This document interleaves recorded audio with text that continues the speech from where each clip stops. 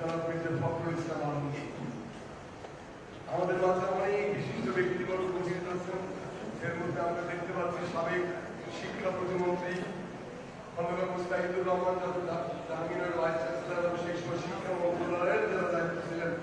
তাদের একজন সাবেক প্রতিমন্ত্রী, শিক্ষা প্রতিমন্ত্রী তিনি এখানে উপস্থিত আছেন। আমরা আশা করছি আমাদের অনুষ্ঠান চলাকালীন আরও অনেক গুরুত্বপূর্ণ ব্যক্তিরা আসবেন আমি আমাদের সাবেক vice chancellor doctor Abdul Latif Masum আছেন এখানে। ঢাকা বিশ্ববিদ্যালয়ের সাদা দলের কনভেনর, শিক্ষক সমিতির সাবেক সভাপতি প্রফেসর ডক্টর রহমান আছেন। প্রফেসর সাধারণ সম্পাদক সাবেক জনাব ওবায়দুল ইসলাম এখানে আছেন। এবং আমাদের মাঝে এইমাত্র উপস্থিত হলেন এইমাত্র উপস্থিত হলেন আমাদের সকলের শ্রদ্ধেয় বাংলাদেশের বরেন্দ্র বুদ্ধিজীবী প্রফেসর মাহবুবুল্লাহ প্রফেসর মাহবুবুল্লাহ এর মধ্যে আসন নিয়েছেন। এখানে আরও অনেকে উপস্থিত রয়েছেন আসছেন আমাদের ডক্টর ভাই আসছেন আমাদের বাংলাদেশ ফেডারেল সাংবাদিক ইউনিয়নের সাবেক মহাসচিব জাতীয় প্রেস সাবেক সাধারণ সম্পাদক জনাব সৈয়দ আফতার আহমদ, ঢাকা সাংবাদিক ইউনিয়নের সভাপতি কাদের গনি চৌধুরী জাহাঙ্গীরনগর কাছে প্রফেসর কামরুল হাসান পাকের হোসেন এবং মুস্তাহিদ ভাই পরিবারের থেকে আসছেন তার পুত্র আশফাকুর রহমান। আরও অনেকে আছে, আমি অনেকের নাম বলতে পারছি না। আরও অনেকে আছে নাম বলে অনুষ্ঠানে ভয় আছে আরও যারা আছেন, তাদের সবার উদ্দেশ্যে আসসালামু আলাইকুম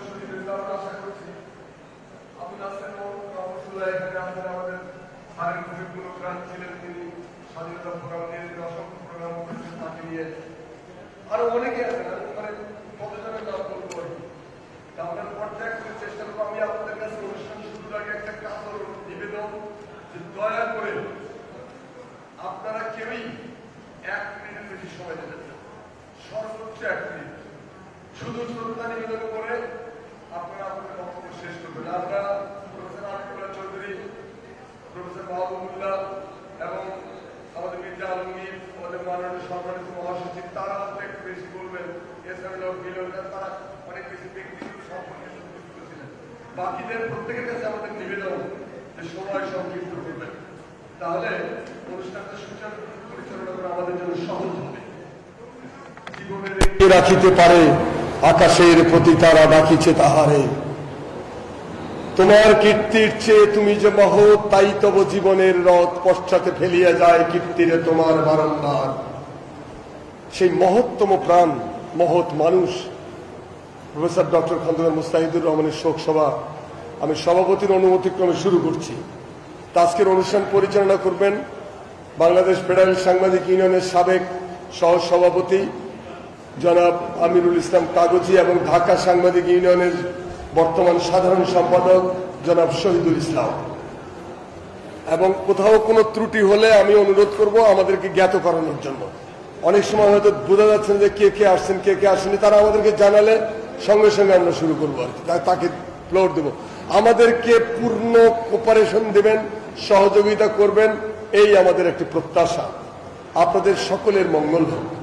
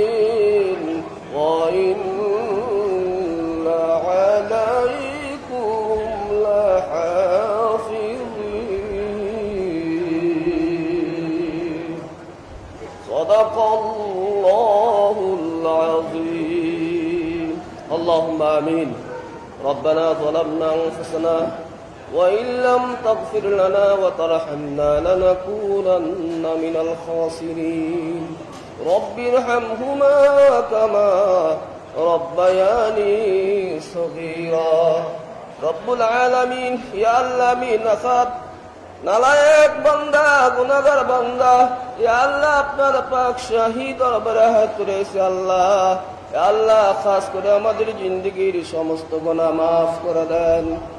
আল্লাহ, আমাদের মা বাপ নানা নানি, দাদা, দাদি, পাড়া, প্রতিবেশী, আত্মীয় স্বজন আল্লাহ, যারা আমাদেরকে আদৌ করতো সেবা করতো, অনেকে দুনিয়াতে নাই আল্লাহ, সবাইকে আপনি মাফ করে দেন আল্লাহ।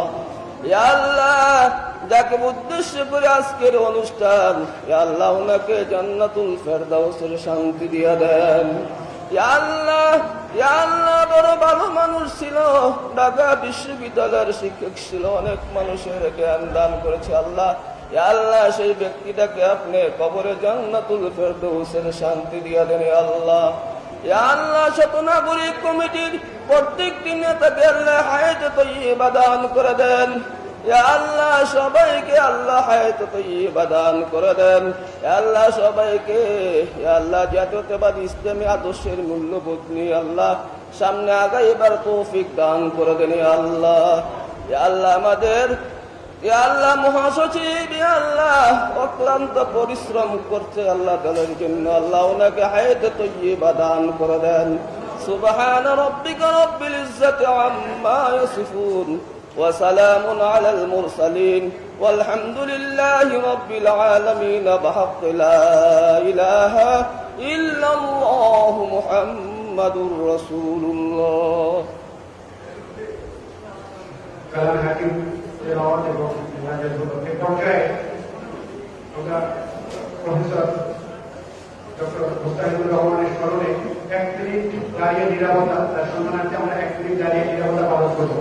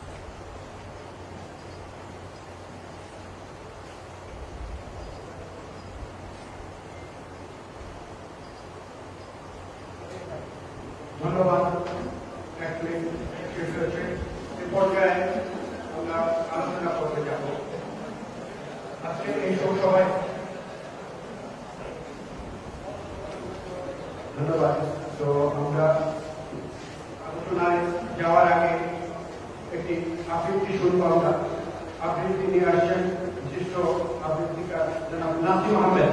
জনাব নাসিম আহমেদকে আবৃত্তি উপস্থাপনের জন্য অনুরোধ জানাচ্ছি।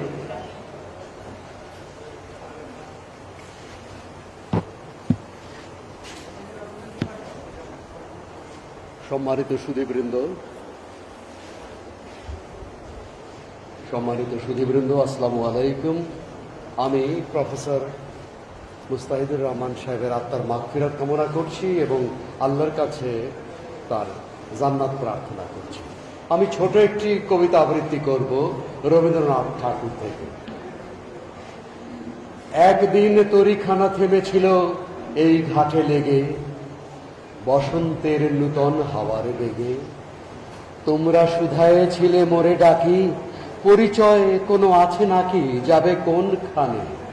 আমি শুধু বলেছি, কে জানে?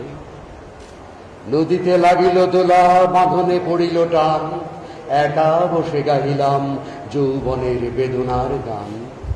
সেই গান শুনে কুসুমিত তরু তলে তরুণ তরুণী তুলিল অশোক। মোর হাতে দিয়ে তারা কহিল, এ আমাদেরই লোক। আর কিছু নয়, সে মোর প্রথম পরিচয়। তারপরে জোয়ারের বেলা, সাঙ্গ হলো সাঙ্গ হলো তরঙ্গের খেলা। কোকিলের ক্লান্ত গানে বিস্মৃত দিনের কথা অকস্মাৎ যেন মনে আনে, কনক চাপার দল পড়ে ঝুড়ে। ভেসে যায় দূরে ফাল্গুনের উৎসব রাতির, নিমন্ত্রণ লিখন পাতির ছিন্ন অংশ তারা অর্থহারা। ভাটার গভীর টানে তরিখানা ভেসে যায় সমুদ্রের পানে। নূতন কালের নবযাত্রী ছেলে মেয়ে শুধাইছে দূর হতেছে। সন্ধ্যার তারার দিকে তরণী বাহিয়া চলেছে কে? সে তারেতে বাঁধিলাম তার, গাহিলাম আর বার। মোর নাম এই বলে খ্যাত হোক, আমি তোমাদেরই লোক। আর কিছু নয়, এই হোক।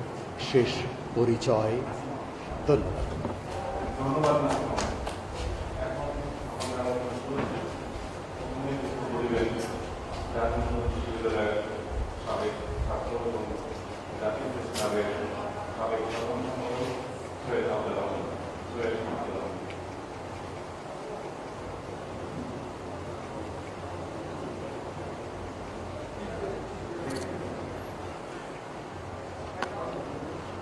বিসমিল্লাহ রহমান রহিম শতনাগরিক জাতীয় কমিটি আয়োজিত আজকের এই স্মরণ সভার সম্মানিত সভাপতি, ঢাকা বিশ্ববিদ্যালয়ের সাবেক vice chancellor professor Anwarullah Chowdhury. আজকের এই শোকসভায় উপস্থিত বাংলাদেশ জাতীয়তাবাদী দলের সংগ্রামী মহাসচিব শ্রদ্ধেয় মির্জা ফখরুল ইসলাম আলমগীর উপস্থিত আছেন প্রখ্যাত অর্থনীতিবিদ অধ্যাপক ডক্টর মাহবুবুল্লাহ, সাবেক শিক্ষা প্রতিমন্ত্রী এহসানুল হক মিলন, উপস্থিত আছেন জাহাঙ্গীরনগর বিশ্ববিদ্যালয়ের শিক্ষকবৃন্দ, শিক্ষার্থীবৃন্দ এবং উপস্থিত সুদূর মণ্ডলী আসসালামু আলাইকুম। প্রথমেই আমি প্রফেসর ডক্টর খন্দকার মুস্তাহিদুর রহমান স্যারের স্মৃতির প্রতি গভীর শ্রদ্ধা জানাচ্ছি এবং আল্লাহর কাছে মোনাজাত করছি। আল্লাহ যেন তার মাগফিরাত আল্লাহর কাছে মাগফিরাত কামনা করছি। প্রফেসর মুস্তাফিজুর রহমান জাহাঙ্গীরনগর বিশ্ববিদ্যালয়ের একজন অত্যন্ত জনপ্রিয় শিক্ষক ছিলেন। তিনি বাংলাদেশের একজন বিশিষ্ট অর্থনীতিবিদ। আমি জাহাঙ্গীরনগর বিশ্ববিদ্যালয়ের একজন ছাত্র। উনিশশো আশি সালের দিকে আমি জাহাঙ্গীরনগর বিশ্ববিদ্যালয় রসায়ন বিভাগে ভর্তি হই এবং ওই বিশ্ববিদ্যালয়ের দৈনিক বাংলার বিশ্ববিদ্যালয়ের রিপোর্টার হিসেবে কাজ করার সুবাদে আমি স্যারের সঙ্গে আমার ঘনিষ্ঠতা হয়। আসলে তখন বিশ্ববিদ্যালয়টি অত্যন্ত ছোট ছিল, মাত্র দশটি বিভাগ ছিল। অ্যাক্টিভিটিস খুব একটা ছিল না। ফলে ওইখানে সংবাদেরও খুব একটা সুযোগ ছিল না। আমি যা করতাম, বিভিন্ন বিভাগের যে গবেষণামূলক কাজগুলোকে খবর হিসেবে আমি তুলে আনতাম। এই সুবাদেই ডক্টর মুস্তাহিদ স্যারের সঙ্গে আমার খুব পরিচয় এবং তার বেশ কিছু স্টাডি, বিশেষ করে এমফিল থিসিস, পিএইচডি থিসিস থেকে আমি অনেক সুন্দর সুন্দর রিপোর্ট দৈনিক বাংলায় করেছি। পরবর্তীতে আর স্যার ছিলেন আমার আমারই বিশ্ব আমারই জেলার একজন। আমরা ব্রাহ্মণবাড়িয়া জেলার, স্যারের বাড়িও ব্রাহ্মণবাড়িয়া। পরবর্তীতে স্যারের পরিবারের সঙ্গে আমার আত্মীয়তা হয়, আমার ছোট বোনের, তিনি চাচা শ্বশুর। সেই সুবাদেও তার সঙ্গে ঘনিষ্ঠতা ছিল। সবচেয়ে বড় কথা হলো যে তিনি জাহাঙ্গীরনগর বিশ্ববিদ্যালয়ের একজন অত্যন্ত গুরুত্বপূর্ণ শিক্ষক ছিলেন। জাহাঙ্গীরনগর বিশ্ববিদ্যালয়ের প্রতিষ্ঠার পর যে ছয়জন শিক্ষককে প্রথম নিয়োগ দেওয়া হয়েছিল, তিনি ছিলেন তার একজন। উনিশশো একাত্তর সালের বারোই জানুয়ারি জাহাঙ্গীরনগর বিশ্ববিদ্যালয়ে যাত্রা শুরু করে। ওই দিন অর্থনীতি বিভাগে প্রথম ক্লাসটি স্যার নিয়েছিলেন এবং সেই হিসেবে তিনি বিশ্ববিদ্যালয়ের ইতিহাসে স্মরণীয় হয়ে আছেন। বিশ্ববিদ্যালয়ের সিনেট, সিন্ডিকেট, একাডেমিক কাউন্সিল, শিক্ষক সমিতি, প্রত্যেকটিতেই তিনি নেতৃত্ব দিয়েছেন। এমন কোনো কি নেই। তারপর তিনি আমাদের ছায়ার মতো ছিলেন, বিশেষ করে জাহাঙ্গীরনগর বিশ্ববিদ্যালয়ের সিনেট নির্বাচনে জাতীয়তাবাদী প্যানেল যেটা হয় সব সময় তিনি এই জাতীয়তাবাদী প্যানেলকে তার তিনিই সব ঠিকঠাক করে দিয়েছেন। এছাড়া যাতে জাহাঙ্গীরনগর বিশ্ববিদ্যালয়ের ছাত্র দলের প্রাক্তন যে কমিটি আছে, তাদের মুরব্বী হিসেবে তার তিনি তাদের অভিভাবক ছিলেন এবং আমাদেরকে পরামর্শ দিয়ে গেছেন। মুস্তাহিদ স্যার, উনি উনিশশো উনসত্তরের গণ অভ্যুত্থানে অংশ নিয়েছিলেন। ছাত্র ইউনিয়নের একজন তরুণ নেতা হিসেবে উনিশশো একাত্তরের মুক্তিযুদ্ধে তার ভূমিকা রয়েছে। এমন একজন কীর্তিমান শিক্ষক যিনি জাহাঙ্গীরনগর বিশ্ববিদ্যালয়ের ভাইস চ্যান্সেলর হয়েছিলেন এবং তার হাতে বিশ্ববিদ্যালয়ে অনেক উন্নয়ন কর্মকাণ্ড সংগঠিত হয়েছে। বিশ্ববিদ্যালয়ের যে সবচেয়ে উঁচু শহীদ মিনার, এটি তিনি উদ্বোধন করেছিলেন। আল্লাহ তাকে নিয়ে গেছেন। আমরা মহান আল্লাহর কাছে দোয়া করি, আল্লাহ যেন স্যারকে জান্নাতুল ফেরদাউস দান করেন। এই বলে আমি আমার বক্তব্য শেষ করছি। আল্লাহ হাফেজ। ধন্যবাদ সৈয়দ আব্দুল রহমান এখন বক্তব্য রাখার জন্য অনুরোধ করছি জাহাঙ্গীরনগর বিশ্ববিদ্যালয়ের সরকার ও রাজনীতি বিভাগের সম্মানিত অধ্যাপক প্রফেসর ডক্টর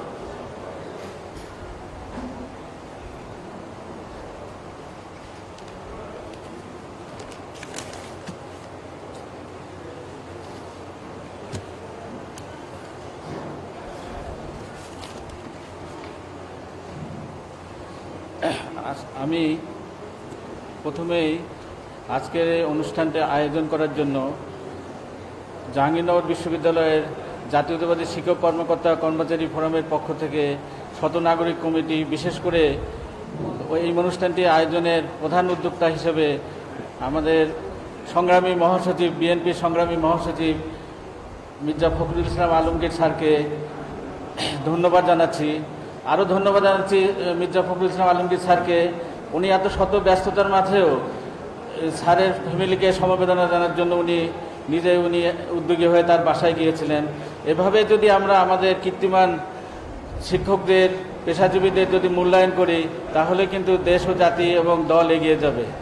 খন্দকার মুস্তাহিদ স্যার যে বিশে বিশ তারিখে মারা গেলেন, সেখানে তার পরের দিন যে জানাজা হয়েছিল জাহাঙ্গীরনগর বিশ্ববিদ্যালয়ে, সেটা জাহাঙ্গীরনগর বিশ্ববিদ্যালয়ের ইতিহাসে বৃহত্তম জানাজায় পরিণত হয়েছিল এবং তার প্রতি ক্যাম্পাসবাসীর দল মত নির্বিশেষে সবারই কিন্তু এক ধরনের শ্রদ্ধাবোধ ছিল।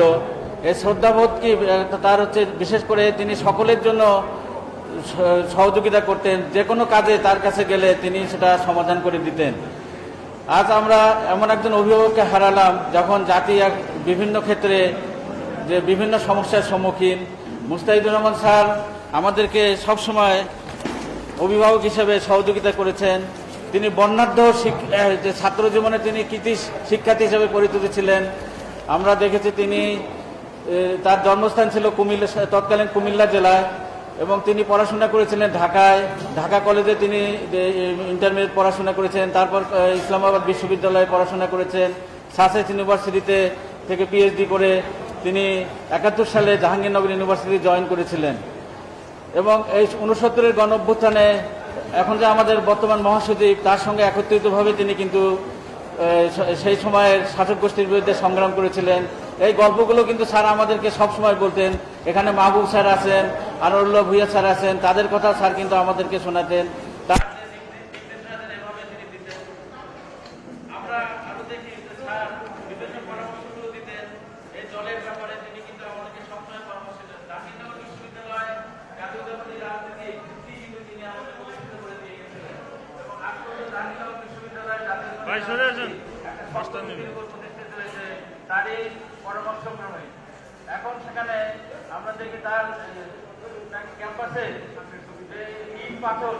সব ক্ষেত্রেই তার কিছু ছোঁয়া রয়েছে। তার সময়ে তিনি দুই হাজার দুই হাজার ভিসি নির্বাচনে সেখানে নির্বাচিত হয়েছিলেন। সে সময় তিনি ভিসির দায়িত্ব ছিলেন যে প্যানেলে তিনি না গিয়ে তিনি তার বিপরীতে প্যানেলে যেও কিন্তু সবার সবার ভোট লাভ করে জনমত নির্বিশেষে সবার ভোট লাভ করে তিনি কিন্তু বিজয়ী হয়েছিলেন প্রথম স্থান অধিকার ভাই এদিকে সরে আসেন মাস্টার নিচ্ছে এবং বেগম খালেদা জিয়া। সময় তাকে ডেকে নিয়ে বলেছিলেন যে আপনাকে ইউনিভার্সিটির ভাইস চ্যান্সেলর আমি নিয়োগ দিলাম কিন্তু আপনি সবচেয়ে যে ভালো ছাত্র তাদেরকে শিক্ষক হিসেবে নিয়োগ দেবেন এবং এ ব্যাপারে আপনার পূর্ণ স্বাধীনতা থাকবে এটা কারণটা হচ্ছে যদি ভালো শিক্ষক একজন নিয়োগ হয়, তাহলে কিন্তু রাষ্ট্র এবং বিশ্ববিদ্যালয়ের জন্য কোনো বোঝা হয়ে যায় নাই। মুস্তাহিদুর রহমান স্যার দেশ নেত্রীর এই বিষয়গুলো অক্ষর অক্ষরে পালন করেছিলেন। আমরা দেখেছি তার সঙ্গে আমি অনেক কাজ করেছি সেখানে। সিনিয়র সিন্ডিকেট, পূর্ব শিক্ষক সমিতি, সব ক্ষেত্রেই মুস্তাহিদ স্যারের অনুপ্রেরণা ছিল। কিন্তু আজকে তিনি আমাদের এই দেশের এই ক্রান্তি লগ্নে চলে গেলেন। যে সময় স্যারের উপস্থিতি কিন্তু আরও প্রয়োজন ছিল।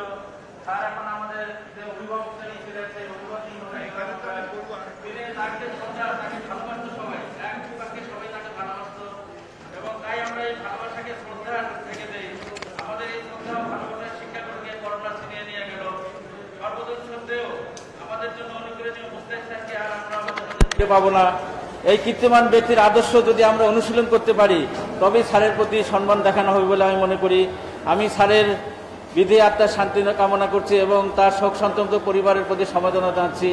আর আমরা দোয়া করব, স্যারের আত্মা যেন শান্তিতে থাকুক। এই দুটি কথা বলে আমি আমার বক্তব্য শেষ করছি। ধন্যবাদ।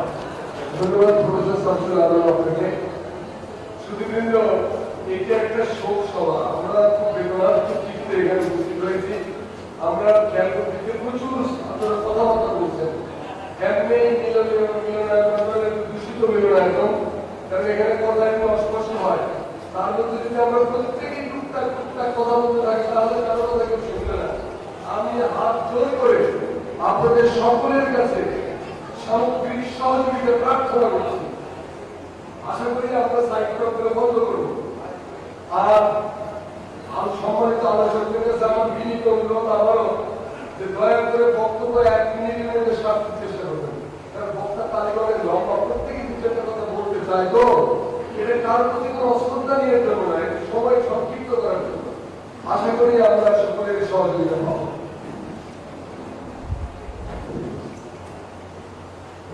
ধন্যবাদ। এই পর্যায়ে আলোচনা নিয়ে আসার জন্য অনুরোধ জানাচ্ছি। ঢাকা সাংবাদিক সাবেক সাধারণ সম্পাদক হোসাইন, সিনিয়র সাংবাদিক জনাব হোসাইন।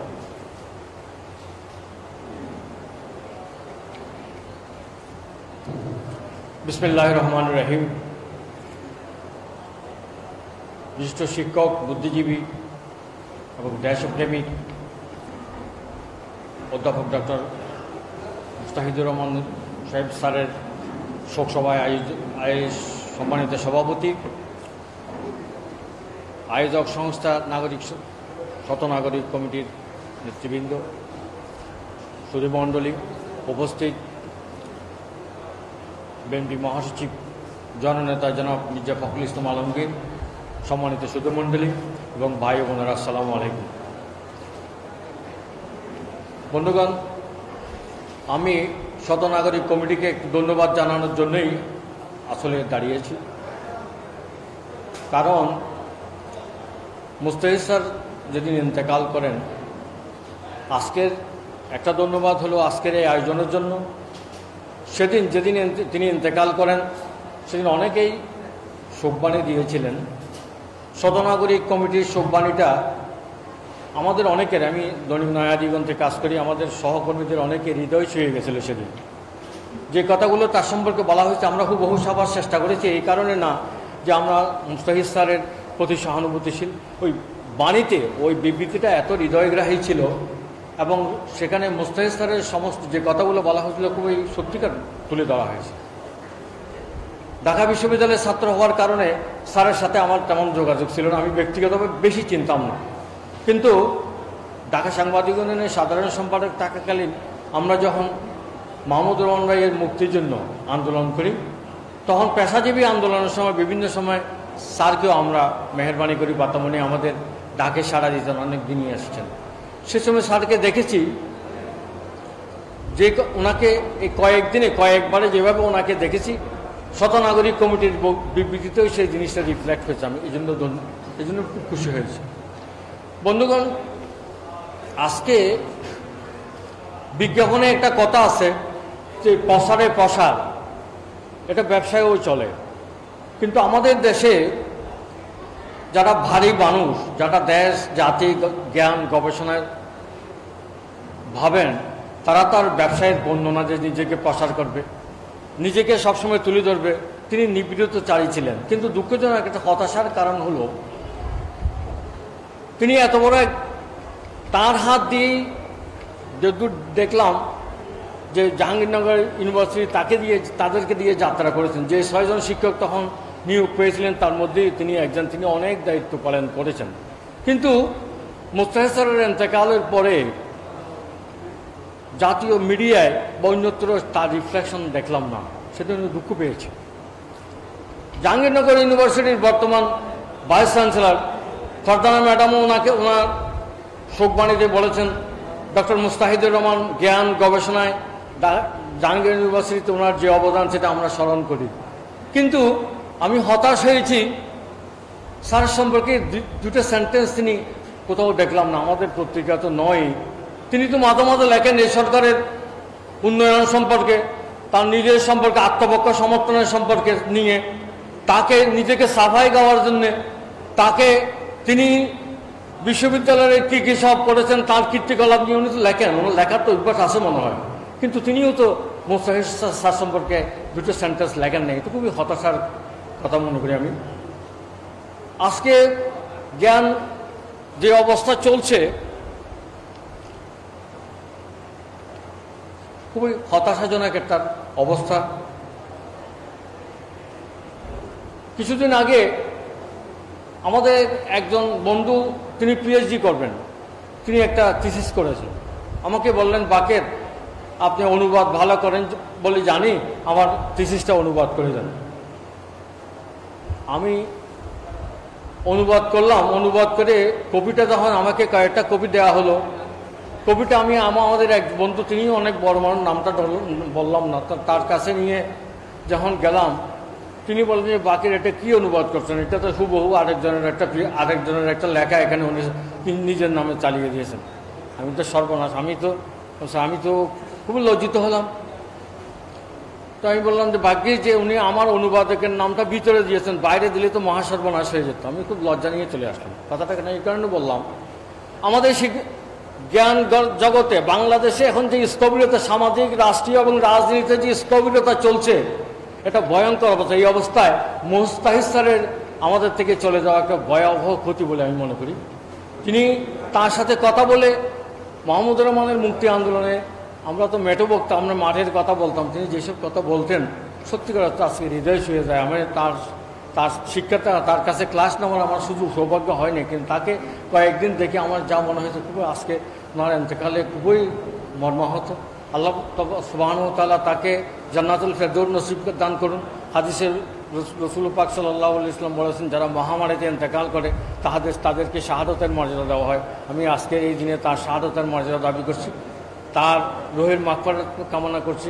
তার শোক শক্ত পরিবারের প্রতি সহানুভূতি জানিয়ে আমি আমার বক্তব্য শেষ করছি। সবাইকে ধন্যবাদ। সালাম আলাইকুম। ধন্যবাদ বক্তব্যের জন্য। এই পর্যায়ে আমি জন্য অনুরোধ জানাচ্ছি। স্বাধীনতা ফোরামের চেয়ারম্যান জনাব আবু নাসের মোহাম্মদ রহমানুল্লাহ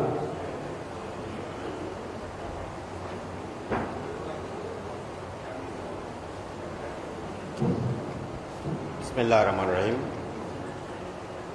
শ্রদ্ধাভাজন শিক্ষক ডক্টর মুস্তাহিদুর রহমান সরডে, আজকের এই শোকসভার মাননীয় সভাপতি, শ্রদ্ধাভাজন প্রধান অতিথি, উপস্থিত সম্মানিত আলোচক মণ্ডলী, শ্রোতাবিন্দু, আসসালামু আলাইকুম। মানবিক গুণাবলীর দিক থেকে অত্যন্ত উঁচু মাপের একজন মেধাবী, বিনয়ী অত্যন্ত ভদ্রজন একজন অভিভাবককে আমরা হারিয়েছি।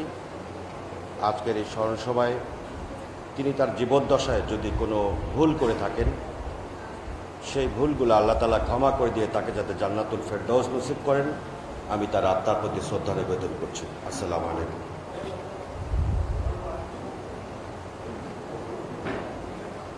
ধন্যবাদ, জনাব আবু নাসের মোহাম্মদ রহমতুল্লাহকে সংক্ষিপ্ত বক্তব্যের জন্য এ পর্যায়ে আমি বক্তব্য অনুরোধ জানাচ্ছি।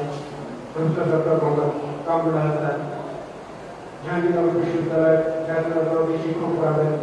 সম্পাদক জনাব ডক্টর কামরুল হাসান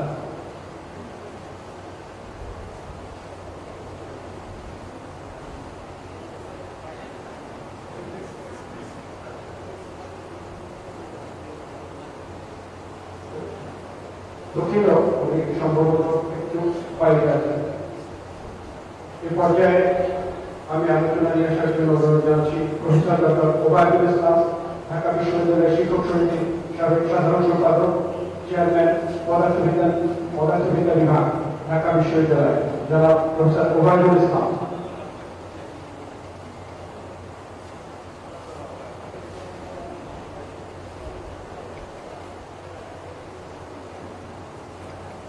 ইসমিল্লাহ রহমান রহিম জাহাঙ্গীরনগর বিশ্ববিদ্যালয়ের সাবেক উপাচার্য, বিশিষ্ট অর্থনীতিবিদ, সুবর্ণ জয়ন্তী উদযাপন জাতীয় রচনা পরিচালিত কমিটির সম্মানিত আহ্বায়ক, অধ্যাপক ডক্টর খন্দকার মোস্তাহিদুর রহমান স্যারের আহ, স্মরণ সভা উপলক্ষে আজকে স্মরণ শতনাগরিক আয়োজিত স্মরণ সভার সম্মানিত সভাপতি আমাদের শ্রদ্ধ শিক্ষক ঢাকা বিশ্ববিদ্যালয়ের সাবেক উপাচার্য অধ্যাপক আনোয়ার চৌধুরী স্যার প্রধান অতিথি আমাদের দলের সম্মানিত মহাসচিব জনাব মির্জা ফখরুল ইসলাম আলমগীর আছেন আমাদের মাহবুবুল্লাহ স্যার আছেন আব্দুল উদ্দিন মাসুম স্যার এবং আরও অনেকে আছেন সাবেক প্রতিমন্ত্রী সফল প্রতিমন্ত্রী জনাব হেসানুল্লাহ মিলন আমাদের ঢাকা বিশ্ববিদ্যালয়ের সাদা দলের আহ্বায়ক এবং শিক্ষক সমিতির সাবেক সভাপতি অধ্যাপক লুৎফর রহমান। আমি সবার নাম বলছি না মানে আবার এখানে বিভিন্ন বিদগ্ধজন। সুদীবৃন্দ আসসালামু আলাইকুম। আমরা গত বিশ তারিখে বিকাল সাড়ে চারটের সময় মোস্তাহিদুর রহমান স্যারকে হারিয়েছি। আমরা তার আত্মার মাকফরাত কামনা করছি। আল্লাহ যেন তাকে জান্নাতবাসী করেন, সেই প্রার্থনা করছি। এবং তার পরিবারের প্রতি গভীর সমবেদনা জানাচ্ছি। মোস্তাহিদুর রহমান স্যার চলে গেছেন আমাদের মাছ থেকে। এই চলে যাওয়াটা আজ হঠাৎ করে চলে গেছে। কুল্লু নাফসুন জায়গাতুল মাউথ প্রত্যেক প্রাণীকেই তার মৃত্যু স্বাদ গ্রহণ করতে হবে। কিন্তু এই মোস্তাহিদ স্যারের মৃত্যু স্বাদ গ্রহণ করাটা আমাদের জন্য অসময় হয়ে গেছে। কারণ যখন এই দেশে এখন একটা কুশাসন, দুঃশাসন চলছে। জালেম সরকারের, ফেসিস সরকারের যে নির্যাতন নিবেদন চলছে, সেই সময় জাতীয়তাবাদী একজন পরীক্ষিত সৈনিককে আমরা হারিয়েছি, যা এই ক্ষতি অপূরণীয়, ক্ষতি পূরণ করা নয়, সম্ভব নয়। তার চাইতে বড় কথা হলো, আমি হারিয়েছি আমার এক অভিভাবককে, কারণ রচনা প্রতিযোগিতা কমিটির আহ্বায়ক ছিলেন তিনি, যার আমি ছিলাম সদস্য সচিব। তাকে হারিয়েছি আমরা, আমি। সো আমি এই রচনা প্রতিযোগিতা কমিটির পক্ষ থেকে, আমার ব্যক্তিগত পক্ষ থেকে, সবার প্রতি, তার প্রতি আত্মার আক্রাত কামনা করছি এবং তার পরিবারের প্রতি সমবেদনা জানাচ্ছি। মোস্তাহিদুর রহমান স্যার কে আমি দেখেছি এই রচনা প্রতিযোগিতার সময় বেশি কাছ থেকে। তার আগেও আমরা বিভিন্ন সময় কাজে পেয়েছি তাকে। একজন বিদগ্ধ জন, একজন ভালো মানুষ, একজন নম্র, একজন ভদ্র, পরোপকারী, নিরহংকারী মানুষ। আমরা বিভিন্ন সময় কাজ করেছি। উনি বলতেন ওরা ওভাবে তোমরা কাজ করে ফেলো। আমি শুধু, আমাকে জানালেই হবে। এই যে জানানোটা, উনি শুধু বলতে আমি আমি জানলেই হবে, তোমরা যা করবা সেটাই কাজ। এই যে ব্যাপারটা, আমাদের মতো, আমি তার প্রায় বিশ বছরের, আঠারো বছরের জুনিয়র আমাকে যে কাজটা করতে বলছেন এবং সেই দায়িত্ব দিয়ে দিয়েছেন এটা একটা অগাধ বিশ্বাস এবং তার মনে হতো যে অতি আপন ভেবে এই কাজটা করতে বলেছেন। আমার কষ্ট হয় এখানেই। উনি চৌঠা আগস্ট হাসপাতালে ভর্তি হয়েছেন। তার আগে মার্চ মাস থেকে অসুস্থ ছিলেন। মার্চ মাস থেকে ওনার হার্টের অপারেশন হয়েছে। অপারেশন হওয়ার পর উনি কিছুদিন পর সুস্থ হয়েছেন।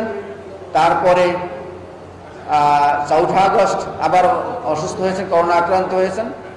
ছয়ই আগস্ট বিএনপি আয়োজিত একটা আলোচনা সভা ছিল শিক্ষার উপরে। করোনার কারণে শিক্ষাঙ্গনে যে শিক্ষার দুরবস্থা, শিক্ষা ব্যবস্থা জাতির ভবিষ্যতে শঙ্কিত।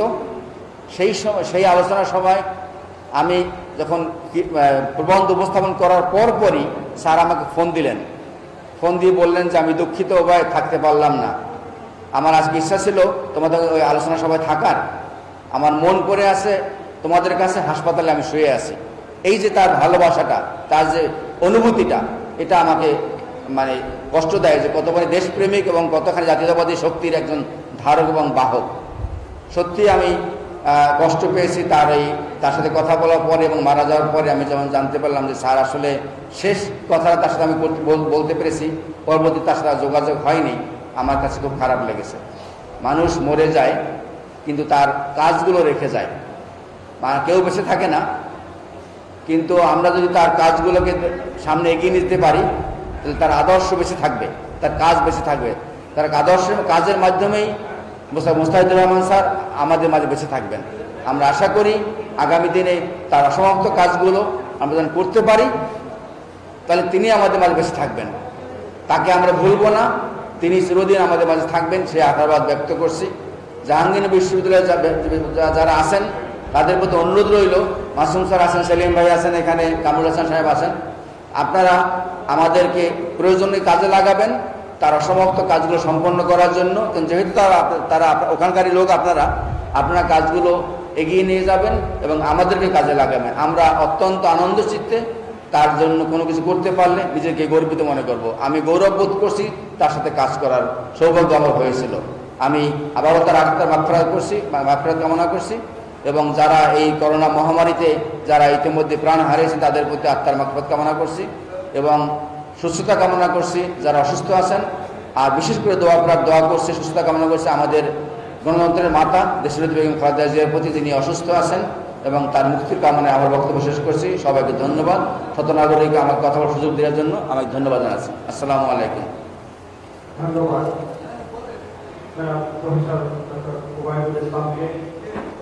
আলোচনার জন্য। এই পর্যায়ে আমি আলোচনা অনুরোধ জানাচ্ছি।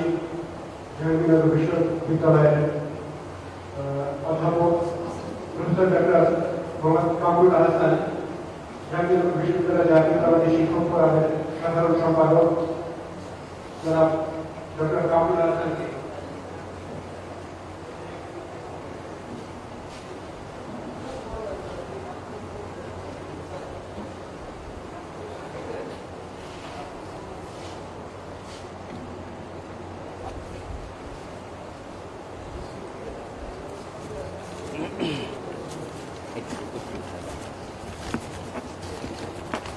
বিসমিল্লাহ রহমান রহিম। শুরুতেই আমাদের শ্রদ্ধেয় কবি বলেছেন যে আমরা এক মিনিটের বেশি সময় যেন না নিই। আমি সবিনয় অনুরোধ করছি, আমার গুরুজনদের আমাকে যেন তার চেয়েও বেশি একটু সময় দেওয়া হয়, কয়েক মিনিট। কারণ হচ্ছে জাহাঙ্গীরনগর বিশ্ববিদ্যালয়, খন্দকার মোস্তাহিদুর রহমান অবিচ্ছেদ্য। আজকের এই আয়োজনে উপস্থিত শ্রদ্ধাভাজন প্রধান অতিথি, পরিচ্ছন্ন রাজনীতিবিদ, জননেতা মির্জা ফখরুল ইসলাম আলমগীর, উপস্থিত আমাদের গুরুজন, ঢাকা বিশ্ববিদ্যালয়ের প্রাক্তন উপাচার্য, অধ্যাপক ডক্টর আনন্দুল্লাহ চৌধুরী, উপস্থিত অধ্যাপক ডক্টর মাহবুল্লাহ সহ জাতীয় নেতৃবৃন্দ এবং আপনারা যারা শুনছেন। আমি জাহাঙ্গীরনগর বিশ্ববিদ্যালয়ের সামান্য একজন শিক্ষার্থী এবং পরবর্তীতে একজন শিক্ষক এবং বাংলাদেশ জাতীয়তাবাদী রাজনীতির একজন অতি সামান্য কর্মী, খন্দকার মোস্তাহিদুর রহমানের নেতৃত্বে আমরা ওখানে কাজ করতাম। আমি শুধু একটা কথা বলতে, যে কথা দিয়ে শুরু করতে চাই তা হচ্ছে, খন্দকার মোস্তাহিদুর রহমানকে ঢাকা থেকে দেখা আর জাহাঙ্গীরনগর থেকে দেখা একটু ভিন্ন রকম আছে। তার কারণ হচ্ছে জাহাঙ্গীরনগর বিশ্ববিদ্যালয়ের ফর্মেটিভ স্টেজে উনি কিন্তু শিক্ষক ছিলেন, উনি সংযুক্ত হয়েছিলেন জাহাঙ্গীরনগর বিশ্ববিদ্যালয়ে যখন যাত্রা শুরু করে। ফলে খন্দকার মোস্তাহিদুর রহমানের সঙ্গে জাহাঙ্গীরনগর বিশ্ববিদ্যালয়ের সম্পর্ক হচ্ছে অভিভাবক এবং সন্তানের মতো। আর উনি অসম্ভব মেধাবী, এটা বলার নিশ্চয়ই আগে যারা বলেছেন, ওনারা উল্লেখ করেছেন, উনি এসএসসিতে প্রথম হয়েছেন, ঢাকা বোর্ডে ফার্স্ট হয়েছেন।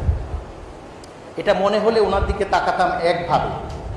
এবং পরবর্তীতে এইচএসসি সম্মান শ্রেণীতে পাকিস্তানে তার স্নাতকোত্তর পর্যায়ে এবং সাসেক্স ইউনাইটেড কিংডমে তার আরেকবার এম করা এবং পিএইচডি করা।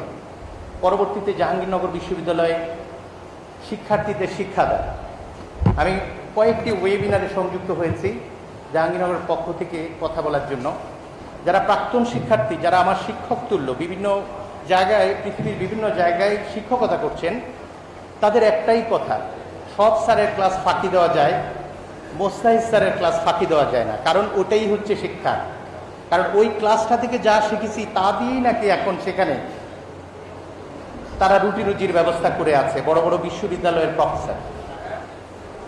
ফলে খন্দকার মোস্তাহিদুর রহমানকে যারা উনিশ দফার এই আদর্শ বাস্তবায়নের সংগ্রামী নেতৃস্থানীয় ব্যক্তি মনে করেন তাদের একই সঙ্গে মনে করতে হবে, দলমত নির্বিশেষে শিক্ষার্থী যারা রয়েছেন, বিশেষ করে অর্থনীতির, তাদের সকলের শিক্ষক।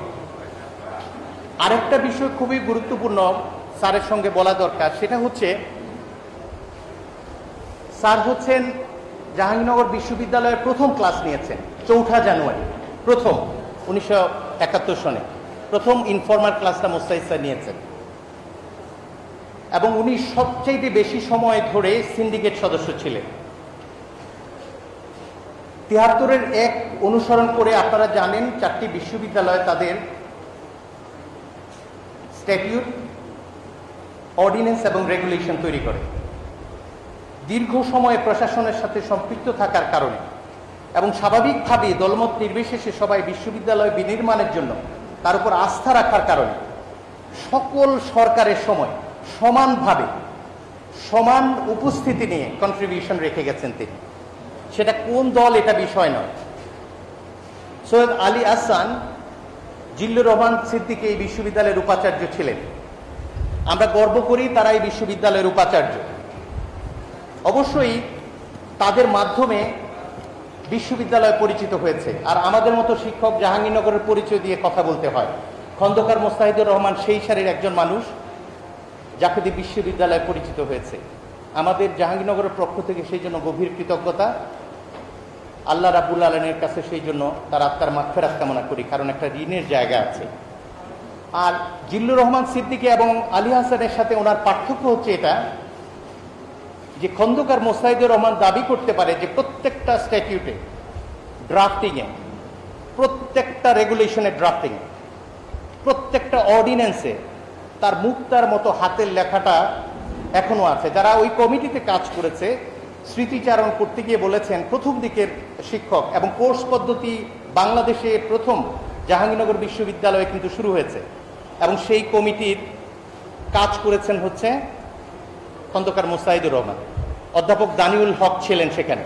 স্মৃতিচারণ করতে গিয়ে বলেন, আমি বাংলার শিক্ষক এবং আমি বাংলা ব্যাকরণের উপর পুস্তক রচনা করে নিজে অনেক কন্ট্রিবিউশন রেখেছি মনে করি বাংলা সাহিত্য জগতে। সাহিত্য জগতে মানে ব্যাকরণের মাধ্যমে। ভাষা, শুদ্ধতা এই বিষয়ে। আমি কোনোদিন ইংরেজি কিংবা বাংলা ভাষায় তার হাতের লেখা একটি শব্দ কারেক্ট করতে পারেনি আমার লাইফে কি করে সম্ভব? যারা বড় বড় বিশ্ববিদ্যালয়ে পড়াশোনা করছেন বিভিন্ন জায়গায়, তারা বলছেন স্যারের যেই রেফারেন্স লেটার এখনও আমাদের সার্টিফিকেটের অন্য ভাঁজে মানে opposite side of the same folder স্যারের রেফারেন্স লেটারটা আছে। ওনার লেখা, হাতের লেখা খুবই সুন্দর ছিল। এবং ইংরেজি, বাংলা সমান দক্ষতায় লিখত। আমি জানি না, এরকম একজন মেধাবী মানুষ সম্পর্কে আমরা মানে ওনার ওই পরিচয়টা জানি কিনা। জাহাঙ্গীরনগর তার কাছে সেই জন্য এত বেশি ঋণী যে আমাদের এই কথাটা বলতে হবে। মানুষ হিসেবে অসাধারণ ছিলেন, এই জন্য বলি আমি স্যারের সঙ্গে সৌভাগ্য হয়েছে, আজ থেকে বহু বছর আগে। তিনি যখন দু হাজার চার আট সনে উপাচার্য ছিলেন, আমি সামান্য একজন শিক্ষক ছিলাম। উনি আস্থা রেখেছিলেন, বহু বছর পর বেগম খালেদা জিয়া হল তৈরি হয়েছিল। সিন্ডিকেট, সিনেট সহ প্রায় বিশটি দায়িত্বে ছিলাম। অসম্ভব ব্যস্ত ছিলাম এবং আমি মোটেই তার যোগ্য নই। কিন্তু আমি অবাক হয়েছিলাম, স্যার, কেন একটি হলের প্রবোজ করার দায়িত্বটা যেখানে সিনিয়র স্যাররা রয়েছেন, কেন আমাকে দিলেন? ধমক দিয়ে বললেন, যেটা করেছি সেটা করো। শোনো, আমি খুবই ভয় পেয়েছিলাম আমি পারব কিনা, কারণ দু হাজার পাঁচ সন, আজ থেকে কত বছর আগে। আমি তখন বুঝেছিলাম যে আমার, আমি যোগ্য সেটা নই, আমাকে যোগ্য করে তুলবার একটা চেষ্টা তার মধ্যে ছিল। জাহাঙ্গীরনগর বিশ্ববিদ্যালয়কে উনি জানেন যে এই বিশ্ববিদ্যালয়ে ফর্মেটিভ যেই স্টেজে উনি যেভাবে কন্ট্রিবিউশন রেখেছেন, ওনার জাহাঙ্গীরনগরের প্রতি যে মমতা সন্তানকে পরবর্তী প্রজন্মের কাছে রেখে যাওয়ার যে একটা চেষ্টা,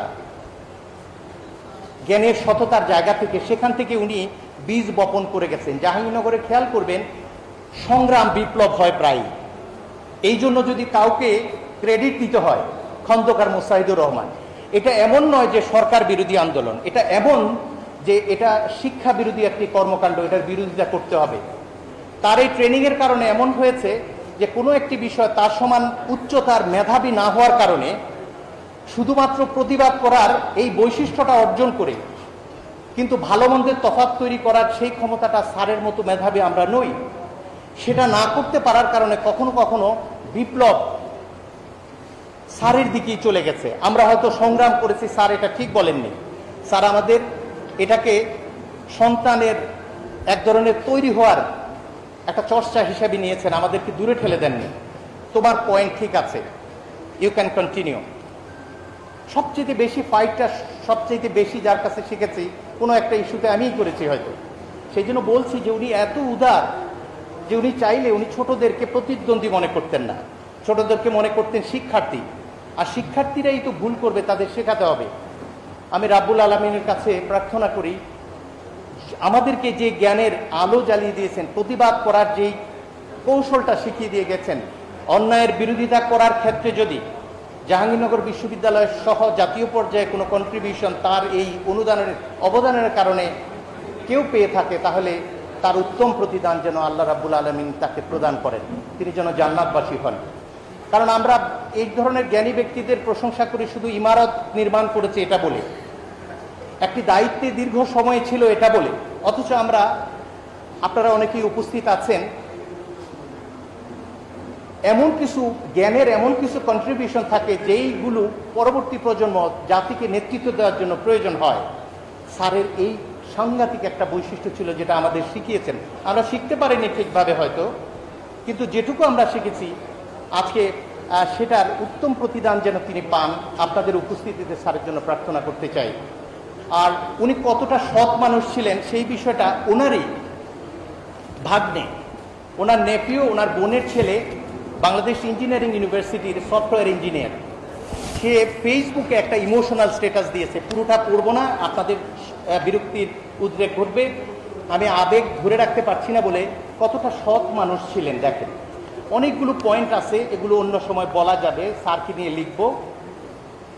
এবং আজকাল উপাচার্যদের কথা শুনলে মনে হয় ভূমি অফিসের সাব রেজিস্ট্রারদের চেয়েও নিকৃষ্ট তারা।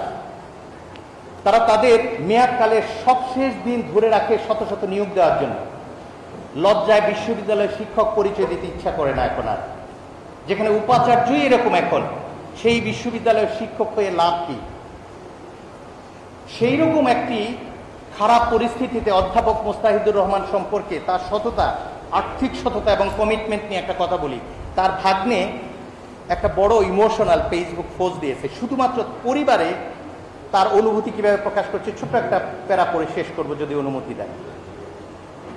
ওর নাম হচ্ছে মাহমুদ সফটওয়্যার ইঞ্জিনিয়ার বুয়েটে। এখন সে চাকরিরত আছে। কোর্ট আমার বড় মামা সম্পর্কে আমার আম্মু ছোটবেলায় প্রায় একটি গল্প বলতেন। তখন আম্মুরা অনেক ছোট। ছয় ভাই বোনের মধ্যে বড় মামা সবার বড় নানা তখন ষাটের দশকে সৎ সরকারি অফিসার। ঈদে তাই ছয় ভাই বোনের নতুন জামা আর জুতা কেনা কোনোভাবেই সম্ভব না। ঈদের দিন আশপাশের বাচ্চারা নতুন জামা পরে বের হয়। আমার মামা খালারা তখনও নিতান্তই ছেলে মানুষ। ঈদের দিন তাই মন খুব খারাপ লাগে। বড় মামা তাই প্রতি ঈদের রাতে ছোট ভাই বোনদের পাঁচ জোড়া জুতো নিয়ে বসতেন। সেই সাথে থাকতো সাবান আর ব্রাশ। আর বলতেন, কোর, দাঁড়া, তোদের জুতা নতুন করে দিচ্ছি আমি আনকোর এই বলে ওনাদের জুতোগুলো সাদা ঝকঝকে করে ফেলতেন। ছোট্ট ভাই বোনেরা একে একে আসতো আর তাদের ঝকঝকে নতুন জুতো নিয়ে যেন খুশিতে লাফাতে লাফাতে যেত। এই দৃশ্যটা আমি দেখিনি, কিন্তু চিন্তা করলেই মন ভালো হয়ে যায়। কি অদ্ভুত সুন্দর সেই দৃশ্য। এভাবে আরও অনেকগুলো প্যারাগ্রাফ লিখেছে। প্রত্যেকটা প্যারাগ্রাফ একটা আরেকটাকে ছাড়িয়ে যায়। শুধু এটুকু বলি, এমন একজন সজ্জন ব্যক্তি, এত মেধাবী এবং এত কন্ট্রিবিউশন রাখা শুধু জাহাঙ্গীরনগর না, উনি শিক্ষক সমিতি ফেডারেশনের সভাপতি ছিলেন। যারা তার সঙ্গে কাজ করেছেন, তারাই উপকৃত হয়েছেন। কারণ উনি খন্দকার মুস্তাহিদুর রহমান সত্যি আমরা একেবারে আমাদের কথ্য ভাষায় যেটা বলি ওয়ান পিস আমরা জাহাঙ্গীরনগরে আমরা বলতেই চাই, এই অনুমতিটা আমরা চাই। সেই জন্য তার যে কন্ট্রিবিউশন সেই কন্ট্রিবিউশনের জন্য, যে জন্য দাঁড়িয়েছে আমরা যারা আছি, যাদের দোয়াটা আল্লাহ কবুল করবে, তার মাধ্যমে আমরা এই প্রার্থনা করতে চাই প্রভুর কাছে যে তার দেখিয়ে যাওয়া পথ জাহাঙ্গীরনগর সারা জীবন উপকৃত হবে। তৃতীয় শ্রেণির উনি উপাচার্য হওয়ার প্রথম দিনই বলেছে, তৃতীয় চতুর্থ শ্রেণীদের কি সুবিধা দেওয়া যায় বলো। এটা সত্য কথা। আই ওয়াজ বাই হিম এটা এটা নাটক নয়, এটা ড্রামা নয়, কারণ তারা তখন দাবি করেনি। উনি এরকম একটা মানুষ ছিলেন। যারা নিরীহ, যাদের দরকার, কোথায় যেন তার মনের মধ্যে এই জিনিসটা ছিল। উনি একজন মুক্তিযোদ্ধা ছিলেন, স্বাধীনতা যুদ্ধের স্বাধীন বাংলাদেশে প্রথম পতাকা যে তিনজন উত্তোলন করেছেন জাহাঙ্গীরনগর বিশ্ববিদ্যালয়ে অধ্যাপক আমিরুল ইসলাম চৌধুরী সহ, উনি একজন ছিলেন। ফলে এরকম একজন পরিচ্ছন্ন, সার্বজনীন, স্বার্থ সুবিধায় বিশ্বাসী শহীদ প্রেসিডেন্ট জিয়া রহমানের উনিশ দফায় শুধু বিশ্বাসী নয়, যার বিশ্লেষণ আমাদের আকৃষ্ট করে, সেই অধ্যাপক জাহাঙ্গীর, অধ্যাপক ডক্টর মোস্তা, খন্দকার মোস্তাহিদুর রহমানের স্মরণ সভা আয়োজন করবার জন্য এবং এতে আমাদের সকলে শ্রদ্ধেয় মহাসচিব এবং আমাদের মাহবুব স্যার সহ আনোয়ারুল্লাহ চৌধুরী স্যার সহ এবং আমাদের অন্য যে সহকর্মীরা আছে যারা যুক্ত হয়েছেন, আমরা জাহাঙ্গীরনগর বিশ্ববিদ্যালয়ের পক্ষ থেকে আপনাদের প্রতিও গভীর কৃতজ্ঞতা জানাই এবং স্যারের জন্য দোয়া রাখবেন। এই প্রার্থনা রেখে শেষ করছি এবং দীর্ঘ সময় বলার জন্য বিরক্তি উদ্বেগ করার জন্য আবারও ক্ষমা প্রার্থনা করছি। সবাইকে ধন্যবাদ। ধন্যবাদ ডক্টর মোহাম্মদ কামরুল হাসান এখন বক্তব্য রাখার জন্য অনুরোধ করছি ঘরের শিক্ষাবিদ আমাদের শ্রদ্ধেয় শিক্ষক ডক্টর মাহবুব দেশের শিক্ষক বুদ্ধিজীবী ডক্টর মাহবুব ডক্টর মাহবুব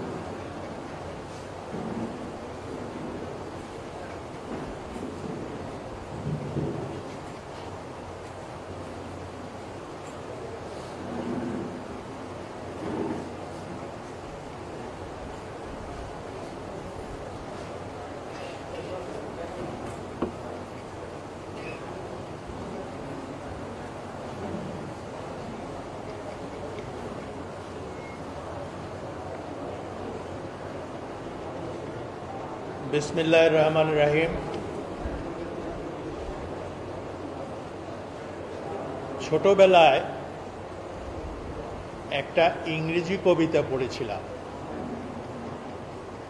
কবিতাটির শিরোনাম ছিল ডেথ দি লেভেলার, মৃত্যু যা সকলকে এক সমতলে নিয়ে আসে। ধনী, গরিব বাদশাহ, ফকির, সবাইকে এক সমতলে নিয়ে আসে।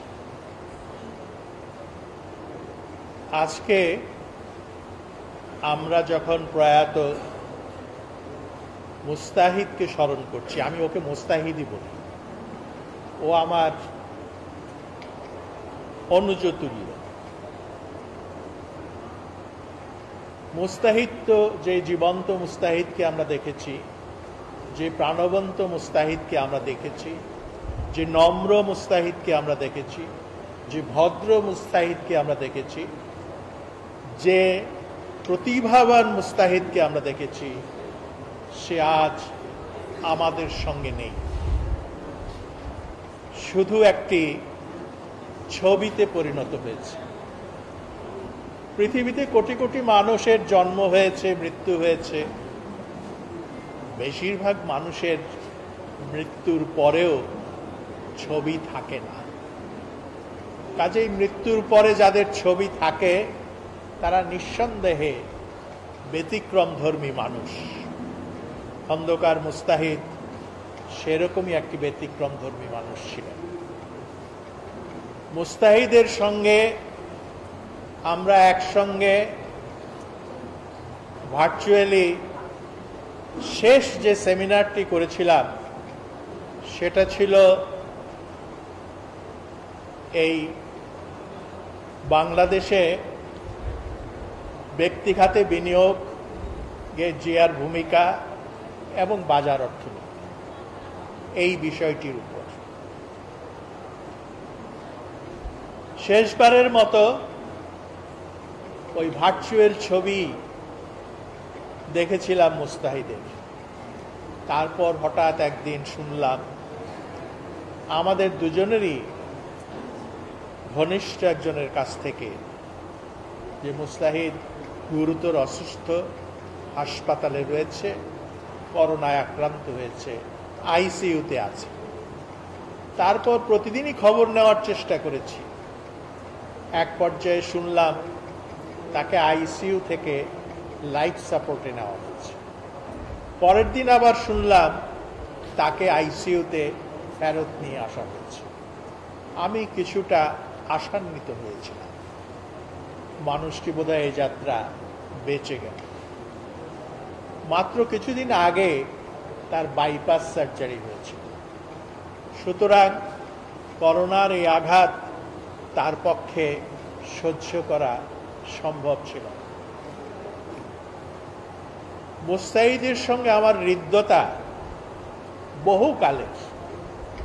বলা যায় পঞ্চাশ বছর তো হবেই, তার চেয়েও বেশি হবে। ষাট ষাট বছরের মতো হবে। এখানে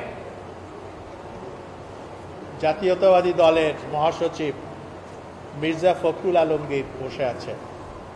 তিনি আজকের এই অনুষ্ঠানের মধ্যমণি। তো তারা থাকতেন সলিমুল্লাহ মুসলিম হলের একশো একাত্তর নম্বর রুমে।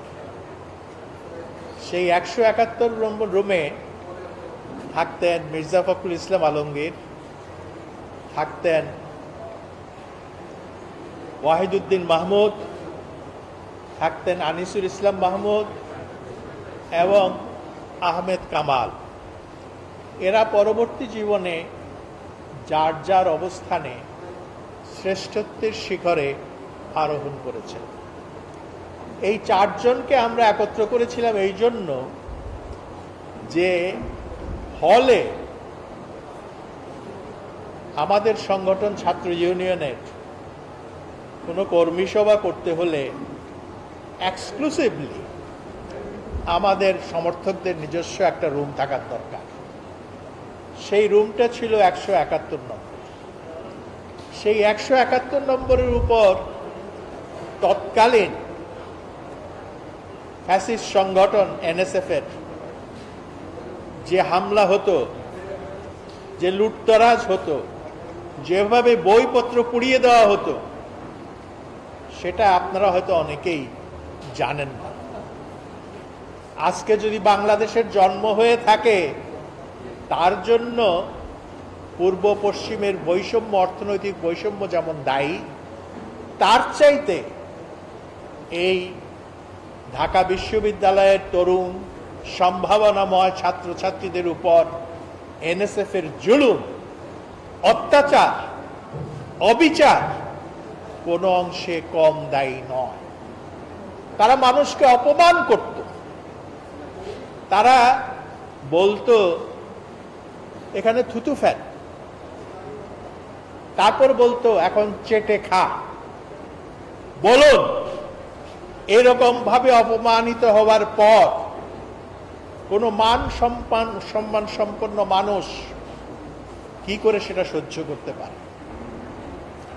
এমনি এক অবস্থার মধ্য দিয়ে মির্জা ফখরুল ইসলাম আলমগীর এবং আহমদ কামাল, যিনি পরে ঢাকা বিশ্ববিদ্যালয়ের ইতিহাসের অধ্যাপক হয়েছেন, ডক্টর আহমদ কামাল হয়েছে খুবই বুদ্ধিমান মানুষ এবং প্রত্যুৎপন্ন মানে মনস্ক মানুষ সেই তারা দুজনে সিদ্ধান্ত নিলেন যে ঢাকা বিশ্ববিদ্যালয় থেকে আর পড়া যাবে। তারা সিদ্ধান্ত নিলেন, তারা করাচি বিশ্ববিদ্যালয়ে চলে যাবে করাচি বিশ্ববিদ্যালয়ে সেখানে ভর্তি হওয়ার জন্য, যাওয়ার জন্য দিন তারিখ ঠিক হলো, তখন বিমান যাত্রা করতে হতো তেজগাঁয়ের পুরানো বিমানবন্দর থেকে।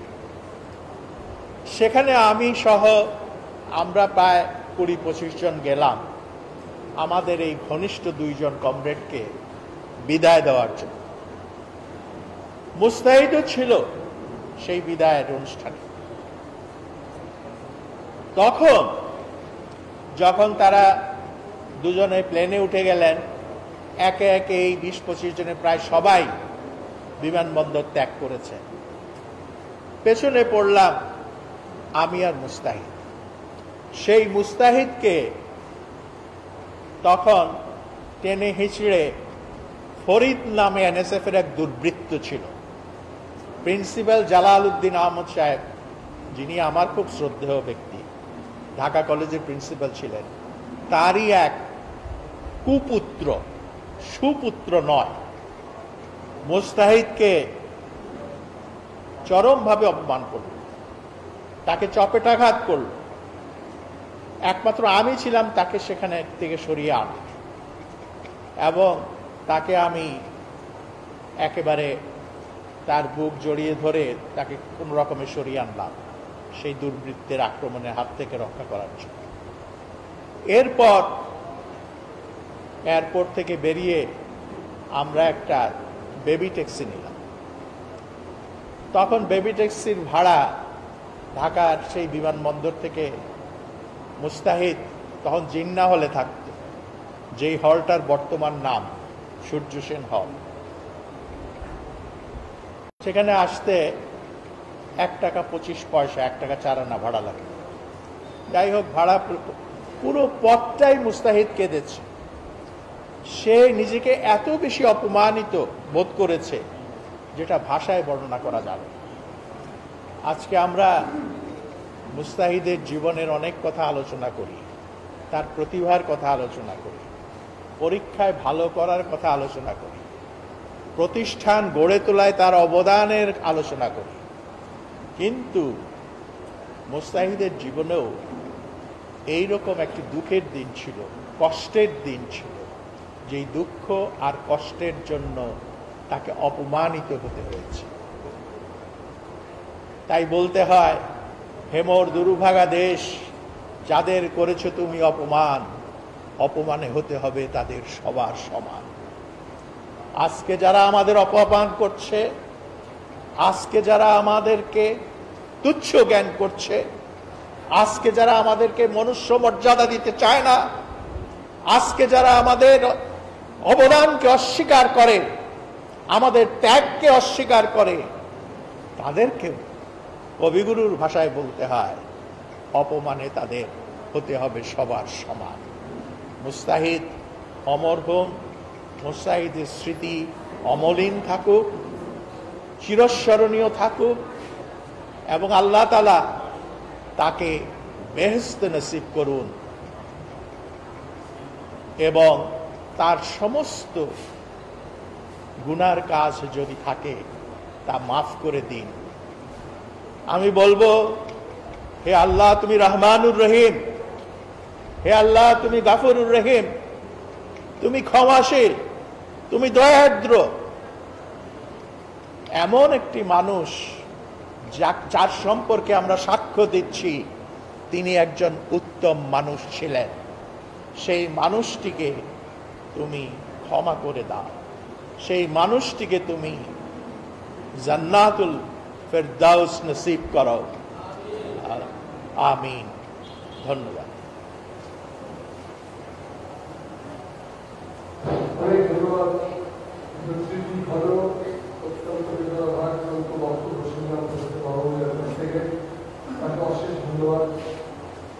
আমি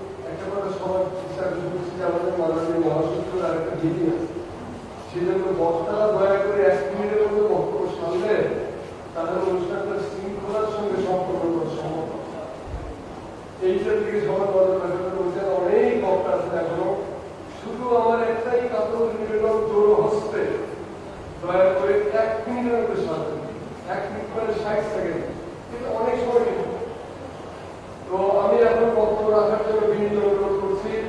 বাংলাদেশ ফেডারেল সাংবাদিক ইউনিয়নের সম্মানিত সাবেক মহাসচিব জনাব প্রেমী আজিজ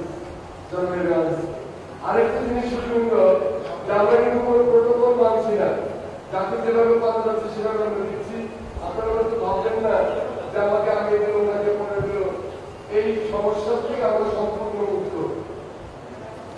এবং এম এ রাজীবের আরেকটা বড় গুণ হলো টাঙ্গিয়ার বিশ্ববিদ্যালয়ের ছাত্র ছিলেন আসসালামু আলাইকুম। এবং সিলেট সদস্য ছিলেন এবং সেকেন্ড আমার জাহাঙ্গীরনগর বিশ্ববিদ্যালয়ের প্রত্যেকটি সভায় আমি অংশগ্রহণ করি। এটার উদ্দেশ্যই হচ্ছে যে জাহাঙ্গীরনগর বিশ্ববিদ্যালয়ের শিক্ষক ছাত্রের সাথে আমার দেখা হবে।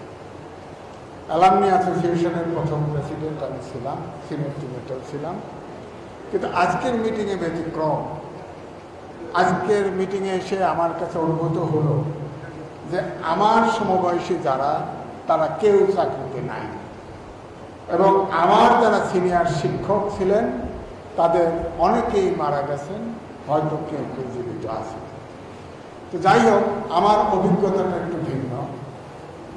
কারণ আমি পদার্থবিজ্ঞান বিভাগের প্রথম ব্যাচের ছাত্র এবং জাহাঙ্গীরনগর বিশ্ববিদ্যালয়ের দ্বিতীয় ব্যাচের ছাত্র। প্রথম ব্যাচ স্বাধীনতা সংগ্রামের আগে ভর্তি হয়, কিন্তু তাদের ক্লাস হয় না। আমরা স্বাধীনতার পরের প্রথম ব্যাচ। আমাদের একসাথে ক্লাস শুরু হয়। ছোট্ট বিশ্ববিদ্যালয়।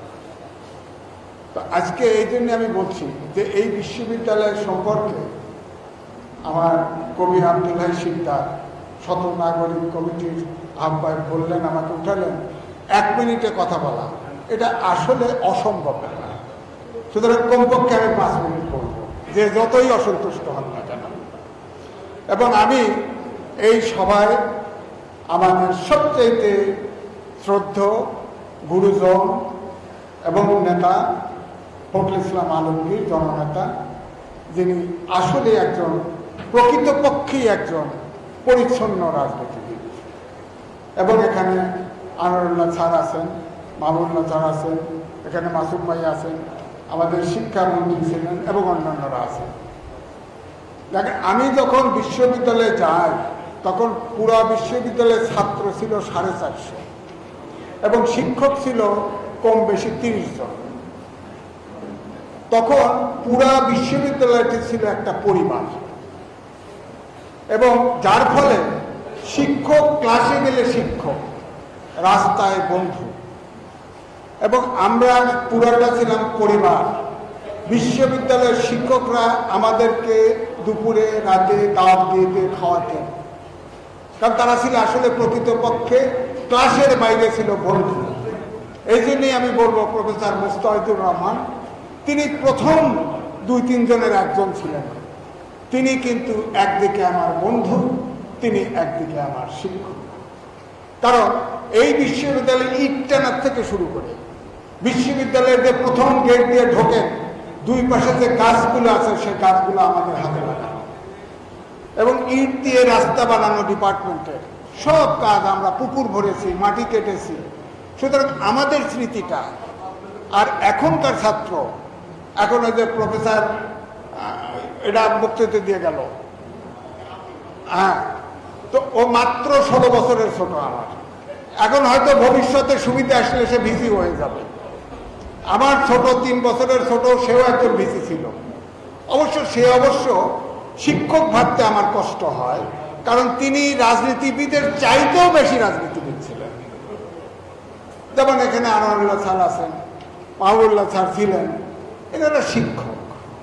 এনাদেরকে রাজনীতি তাদেরকে খাইতে পারে না মাহবুদুল্লাহ মাহবুবুল্লাহ স্যার, মোস্তাহিদ স্যারও তাই ছিলেন। তো, এবং তিনি মোস্তাহিদ স্যার একজন পেশাজীবী ছিলেন। পেশাজীবী হিসেবে তিনি কিন্তু আমাদের নেতাও ছিলেন। কিন্তু বিএনপির ভিতরে প্রগ্রেসিভ জাতীয়তাবাদী ছিলেন। এই জন্য তার কিন্তু জায়গা আমার কাছে ভিন্ন। এখন কিন্তু প্রগ্রেসিভ লোকের খুব অভাব। এই জন্য আমি মনে করব যে এই মোস্তাহিদ স্যারের যে বিদায়, এটা প্রগ্রেসিভ জাতীয়তাবাদ, শুধু জাতীয়তাবাদ নয়, প্রগ্রেসিভ জাতীয়তাবাদের একটা পিলার ধ্বংস হয়েছে দ্বিতীয়ত আপনি দেখেন, ইউনিভার্সিটিতে থাকতাম। তিনি কিন্তু শিক্ষক হিসাবে যেমন অত্যন্ত আপনার খুব পেশাজীবী এবং অত্যন্ত দক্ষ টিচার ছিলেন এবং ভিসি হওয়ার পরেও তিনি কিন্তু সব ভালো ছাত্র আমি স্যারের সাথে প্রেস ক্লাবে বসে আলাপ করছিলাম। আমার অভিজ্ঞতা বলে, ভালো ছাত্র, ভালো শিক্ষক হবে এমন কোনো গ্যারান্টি নেই। সাধারণত ভালো ছাত্র, ভালো শিক্ষক হয়। আমি দেখেছি ভালো রেজাল্ট খারাপ রেজাল্ট তিনি ভালো শিক্ষক। এবং স্যারের সাথে আমি গল্প করেছি। আমার ডিপার্টমেন্টের সবচাইতে কেরিয়ার যার ব্রাইট ছিল, তিনি ছিলেন সবচাইতে খারাপ শিক্ষক। এবং আমার সময়ে জগন্নাথ কলেজ থেকে খারাপ রেজাল্টের কোনোভাবে যা চাকরি নিলেন শিক্ষক, তিনি পড়াতেন ভালো। এই জন্য আবার খুবই দেশের সবচাইতে প্রতিষ্ঠিত নাম করা লেখক, কবি তিনি ভিসি হয়েছেন। আমি তিনটা ভিসি পেয়েছি। কিন্তু ভিসি হিসেবে ভালো করেন নাই, কারণ তিনি প্রশাসক হিসেবে ভালো ছিলেন না। এই জন্য মোস্তাহিদুর রহমান ছিলেন অলরাউন্ডার বিশ্ববিদ্যালয়ের প্রথম দিকে এই বিশ্ববিদ্যালয়কে দাঁড় করা, বিশ্ববিদ্যালয়কে তৈরি করা এবং প্রত্যেকটা ছাত্রদেরকে আমাদেরকে ডাকতেন, আমাদেরকে নিয়ে যেতেন। এই জন্য ওনাদেরকে আমাদেরকে কিন্তু শিক্ষক মনে হয়নি বন্ধু মনে হয়েছে। ক্লাসে গেলে শিক্ষক মনে হয়েছে আমি ফিজিক্সের উনি ইকোনমিক্সের কিন্তু উনি ছিলেন সব ছাত্রের সব ছাত্রের অভিভাবক এবং সব ছাত্রের বন্ধু। এই জন্য আমি বলব যে উনি শিক্ষক হিসাবে তিনি ইন্তেকাল করেছেন, ওনার বয়সও বেশি হয়েছিল। আমি সবচাইতে অপরিণীয় ক্ষতি হিসেবে দেখি উনি একজন প্রগ্রেসিভ জাতীয়তাবাদী, পেশাজীবী মৃত্যুবরণ করেছে। এই দুঃসময়ে, এই দেশের এই দুঃসময়ে এইটা হচ্ছে সবচাইতে বড় ক্ষতি। সবাইকে ধন্যবাদ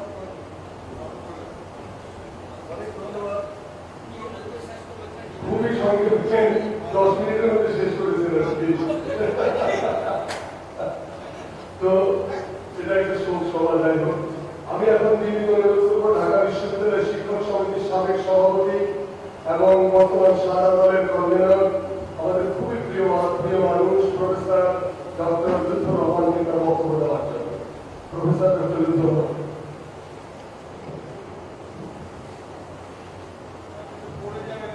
জাতির অত্যন্ত প্রজ্ঞাবান একজন শিক্ষক বিশিষ্ট শিক্ষাবিদ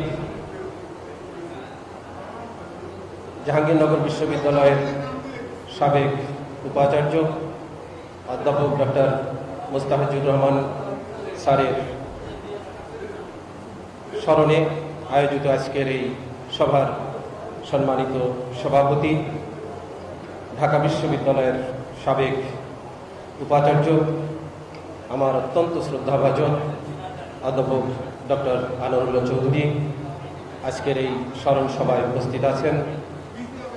বাংলাদেশ জাতীয়তাবাদী দলের মহাসচিব মির্জা ফখরুল ইসলাম আলমগীর উপস্থিত আছেন এদেশের শিক্ষাঙ্গনের একজন পথিকৃত এ কারণে যে যিনি এদেশের দুর্নীতিগ্রস্ত শিক্ষা ব্যবস্থাকে একটি সুশিক্ষার লাইনে পরিণত করেছিলেন, সেই সময়কার শিক্ষা প্রতিমন্ত্রী, আমার অত্যন্ত শ্রদ্ধাভাজন। ডক্টর আনম এহসানুল্লাহ মিলন মিলন ভাই এবং উপস্থিত আছেন সম্মানিত সহকর্মীবৃন্দ। আমি দুঃখিত নামটা বলে যাওয়ার জন্য। আসলে মাহবুবুল্লাহ স্যার এবং প্রফেসর কামরুল জাহাঙ্গীরনগর বিশ্ববিদ্যালয় থেকে যিনি বললেন এবং আমাদের এইমাত্র যিনি সাংবাদিক বললেন, ওনাদের বলার পর ইনফ্যাক্ট আমার তেমন কিছু বলার নেই। শুধু এক মিনিটেই শেষ করব। আমাদের মোস্তাহিদ স্যার চলে গেছেন। এটি ওনার পরিবারের জন্য একটি বড় ক্ষতি, ওনার সন্তানদের জন্য ক্ষতি, এবং পরিচিত হিসাবে আমাদেরও জন্য ক্ষতি। কিন্তু সবচাইতে যে ক্ষতিটি হয়েছে, সেটি হয়েছে এই জাতির জন্য। বিশেষ করে জাতীয়তাবাদী শক্তির জন্য। কেননা, দেশ এখন অত্যন্ত ফেসিবাদী একটি চক্রের পাল্লায়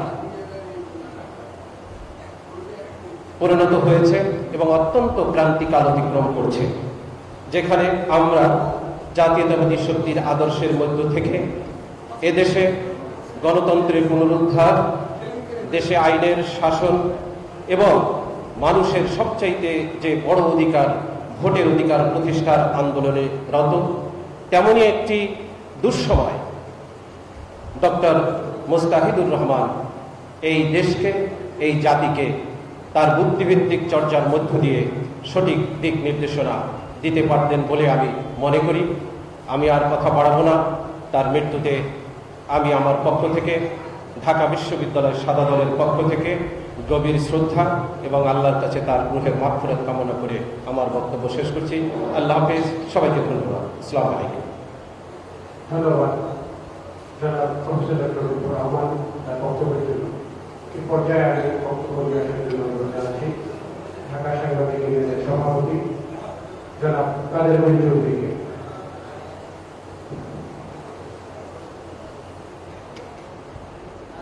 রহিম আজকের এই শোকসভার সম্মানিত সভাপতি, ঢাকা বিশ্ববিদ্যালয়ের সবাই ভাইস চ্যান্সেলর বিশিষ্ট শিক্ষাবিদ, সমাজ চিন্তক প্রফেসর ডক্টর আনুল্লাহ চৌধুরী অসমেশের প্রধান অতিথি, মার্জিত রাজনৈতিক বিএনপি মহাসচিব ফখরুল আলমগীর, সাবেক শিক্ষামন্ত্রী, প্রতিমন্ত্রী, যিনি এদেশের শিক্ষা ব্যবস্থার ক্যান্সার হিসেবে পরিচিত নকল মুক্ত করেছেন শিক্ষা প্রতিষ্ঠানে আসলে মিলন সহ সম্মানিত অতিথিবৃন্দ, আলোচকবৃন্দ সুধীবৃন্দ আসসালাম আলাইকুম। বক্তব্য শুনেছি, যা বলার সব কথাগুলো আমরা শুনেছি। আমার যে মূল্যায়ন প্রফেসর ডক্টর খন্দকার মোস্তাহিদুর রহমান সম্পর্কে, সেটা এই, কিছু কিছু মানুষ তার কর্মগুণে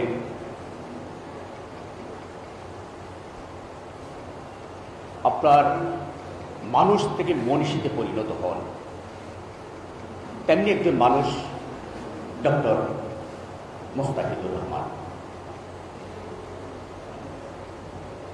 একজন আদর্শ শিক্ষক বলতে যেটা বোঝায়, আদর্শ মানুষ বলতে যেটা বোঝায়, দেশপ্রেম বলতে যেটা তার সবকটি গুণ তার মধ্যে ছিল। ডক্টর মোস্তাদ স্যার সাথে অনেক অনুষ্ঠান আমার বক্তব্য সুযোগ, অনেক মেশানোর সুযোগ হয়েছিল। আমি যতটুকু দেখেছি, তার মধ্যে শিক্ষাক্ষেত্রে বিশেষ করে, যে তিনি শিক্ষাকে সেরে পেশা হিসেবে নেননি। তিনি শিক্ষাকে নিয়েছেন একটা ভীষণ মিশন হিসাবে। এই যে আজকাল আমরা প্রায় পত্রিকা দিকে এখন জাহাঙ্গীরনগর বিশ্ববিদ্যালয়ের কথা যদি বলি, সেখানকার ভাইস চ্যান্সেলর ছাত্রদের হাতে ঘুষের টাকা দেন। এটাকে মোস্তাহিদ স্যারের ক্ষেত্রে কল্পনা করা যেত? এখানেই হলো পার্থক্য। এটুকু বলব যে স্যার একটা মানবিক রাষ্ট্র স্বপ্ন দেখতেন, যেটা এখন পুরোপুরি অনুপস্থিত।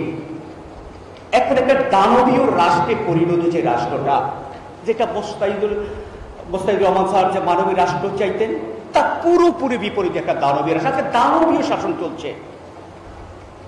আজকে এই দানবীয় শাসনের রোশানলে, এই দানবীয় শাসনে এই দানবদের কবল বসলে আজকে গণতন্ত্র কত বিক্ষত আজকে মুক্তিযুদ্ধের ঘোষক, এই দানবরা মুক্তিযুদ্ধের ঘোষকরে, যিনি সেক্টর কমান্ডার, যিনি জেড ফোর্সের প্রধান, যিনি সম্মুখ যুদ্ধে আপনার অংশ নিয়েছিলেন জীবন বাজি রেখে তাকে আজকে রাজাকার বাড়িয়ে দিচ্ছে। কি অসভ্য অবস্থা। মোসাই স্যার সেই রাজনীতি করেননি। আজকে দানবদের কবলে পড়ে আমরা যারা সাংবাদিক আছি, আজকে মিডিয়া ক্ষত বিক্ষত, মিডিয়ার কণ্ঠ চিপে ধরা হয়েছে। এমনি অবস্থা আজকে। সবশেষ শেষ করিব, সময় নেই, আরও কিছু বলতাম, একেবারে সময় নেই। এটুকু বলি যে মুস্তাহিদ রহমান স্যার যে মানবিক রাষ্ট্রের স্বপ্ন দেখতেন, আজকে আমরা যারা এখানে উপস্থিত আছি, আমরা সবাই তাকে অনুসরণ করি বলে বা অনুসরণ করব বলে আজকে একটা মানবিক রাষ্ট্র প্রতিষ্ঠার জন্য এই দানবদের বিরুদ্ধে আমাদের সবাইকে ঐক্যবদ্ধ হতে হবে এবং একটা যদি মানবিক দানবদের শরীর যদি একটা মানবিক রাষ্ট্র আমরা প্রতিষ্ঠা করতে পারি, এটা আমার মনে হয় স্যারের যে চাওয়া, সেটার জন্য আমরা কিছু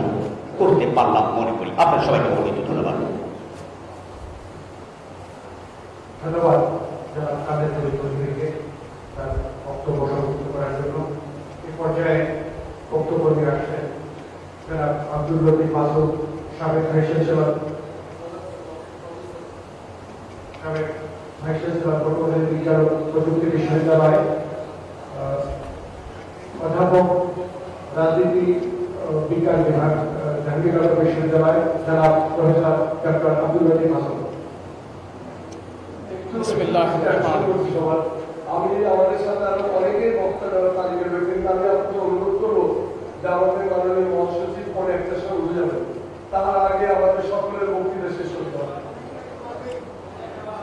এরপরে আমরা দুজনকে দিতে পারব আর আপনি এক মিনিটের মধ্যে শেষ করলে ভালো বিসমিল্লাহ রহমান রহিম। আজকের এই শোক সভার সম্মানীয় সভাপতি প্রফেসর ডক্টর আনুল্লাহ চৌধুরী, বরেণ্য শিক্ষাবিদ এহসানুল হক মিলন সুদীবৃন্দ আসসালামু আলাইকুম।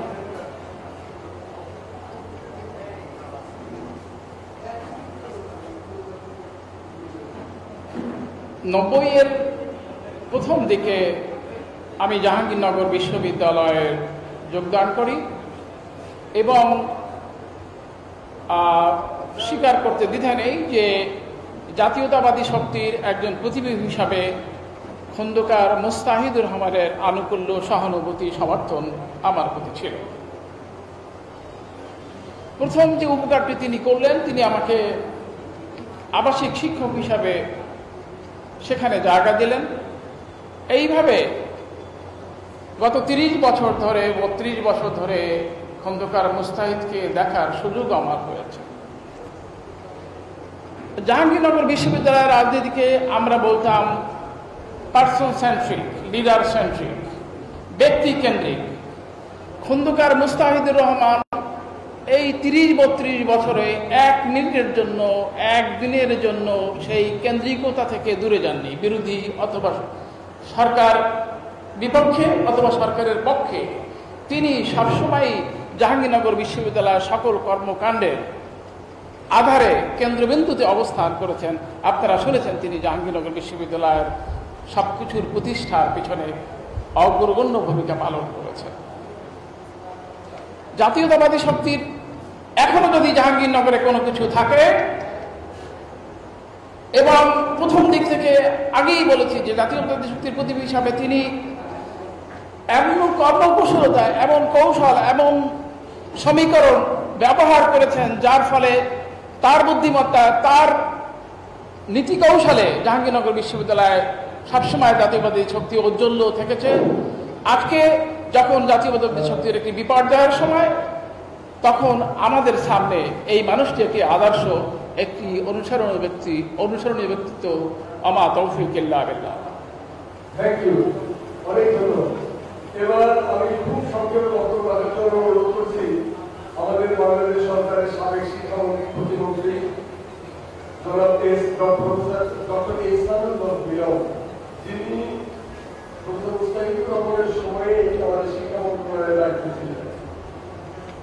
রহমান রহিম। তোমার কীর্তি চেয়ে তুমি মহৎ। সে হচ্ছেন ডক্টর মুস্তাহিদুর রহমান।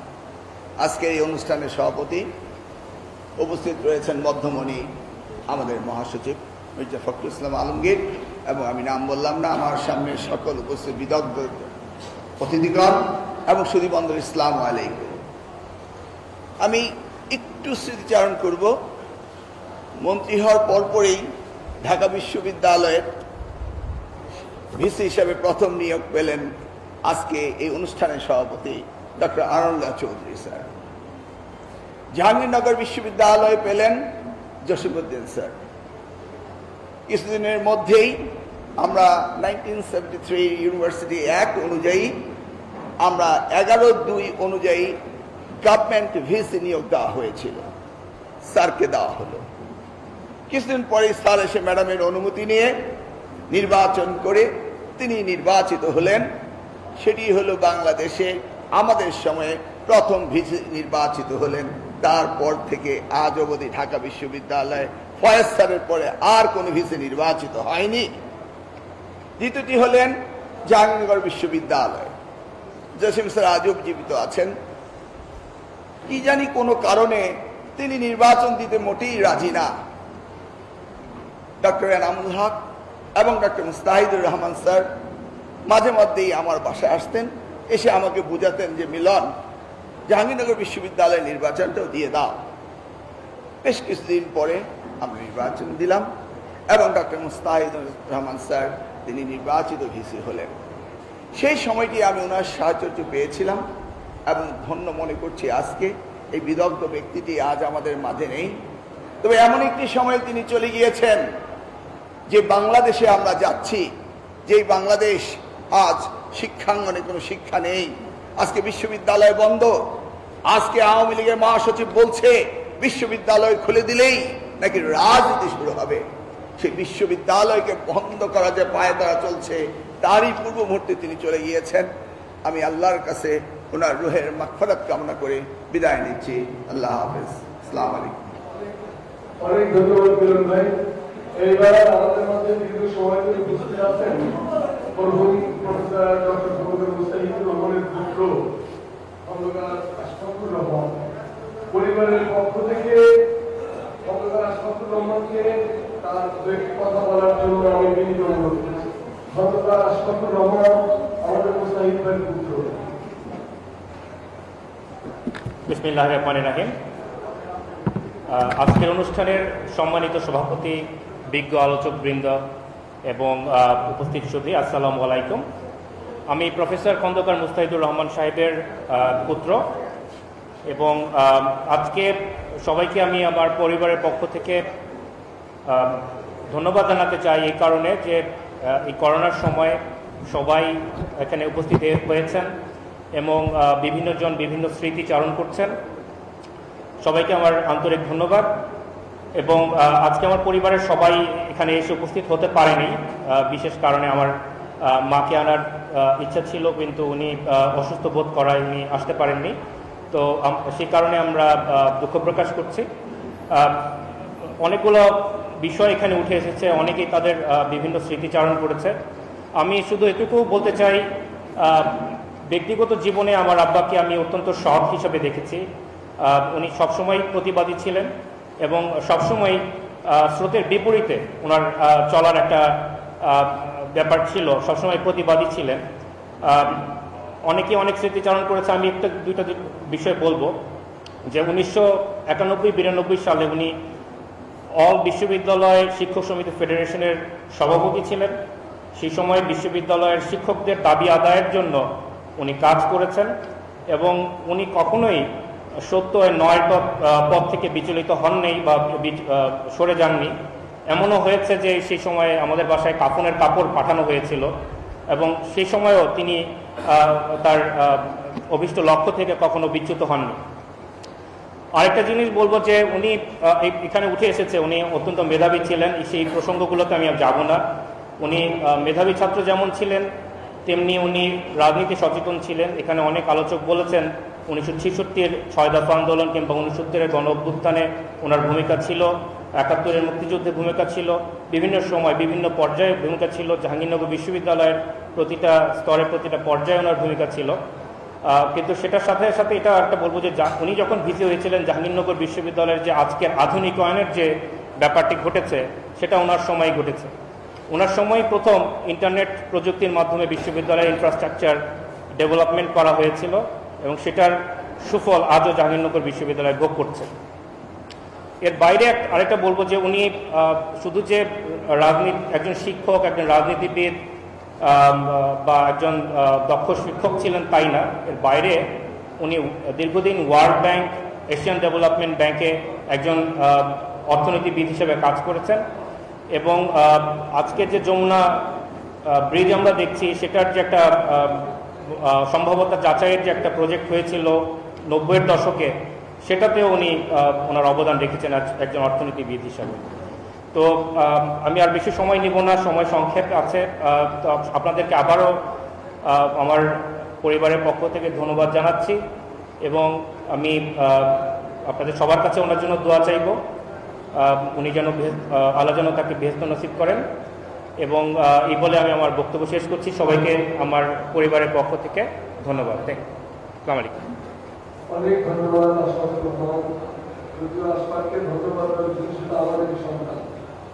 তো এখন আমাদের বক্তব্য আজকের অনুষ্ঠানের সম্মানিত সভাপতি, ঢাকা বিশ্ববিদ্যালয় একটু একটা মিনিট এর মধ্যে আমাদের ঢাকা ইউনিয়নের সাবেক সভাপতি একটু ধন্যবাদ জ্ঞাপন করে মঞ্চে আসেন।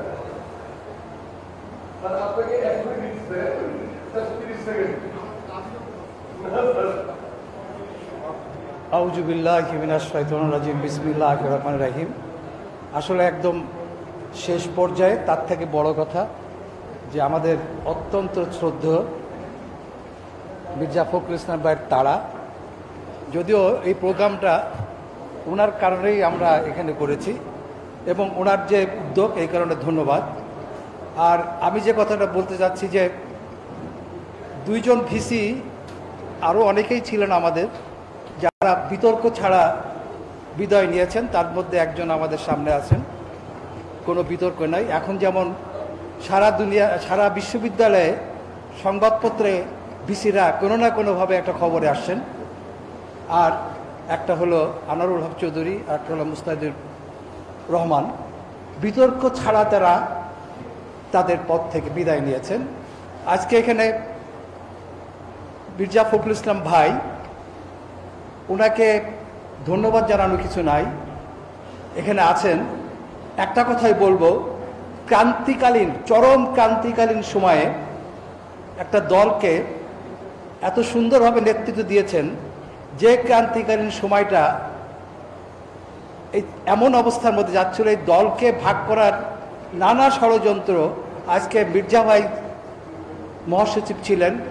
অসম্ভব সুন্দরভাবে দলকে নেতৃত্ব দিয়েছে এই জন্যে উনি অভিনন্দন পাওয়ার যোগ্য আমি কথা বাড়াবো না, তবে একটা কথা বলে শেষ করতে চাই যে রাজার পরিষদবর্গ যদি কর্তৃত্ব বেশি পেয়ে যায়, সেই সব রাজ্য টিকে না। আর যে জাতি তার জ্ঞানীজনকে সম্মান জানাতে জানে না, সে জাতিও টেকে না। একটা বিষয় লক্ষণীয় যে আমরা দেখতে পাচ্ছি যে মানুষ, এই জাতির যত মানুষের যত গৌরব, যত অহংকার সব কিছু একটি জায়গায় কেন্দ্রীভূত হয়ে সমস্ত গৌরবকে অস্বীকার করা হচ্ছে। এবং এভাবে একটা জাতি টিকতে পারে না, সামনে এগোতে পারবে না। আমি আল্লাহ রাবুল আলমিনের কাছে মুসাইদুর রহমানের জন্যে আত্মার মাগফিরাত কামনা করে আমার বক্তব্য শেষ করছি। আল্লাহ হাফিজ। আমাদের সম্মানিত শিক্ষক, আমাদের শ্রদ্ধায় শিক্ষাবিদ স্যার, আপনাকে ভাষণ দেওয়ার জন্য বিনীত অনুরোধ। আমার সাংবাদিক বন্ধুদের বলছে আপনাদের আর ধৈর্য যদি বলবে না আর খুব সংক্ষেপে বলবে ইনশাআল্লাহ।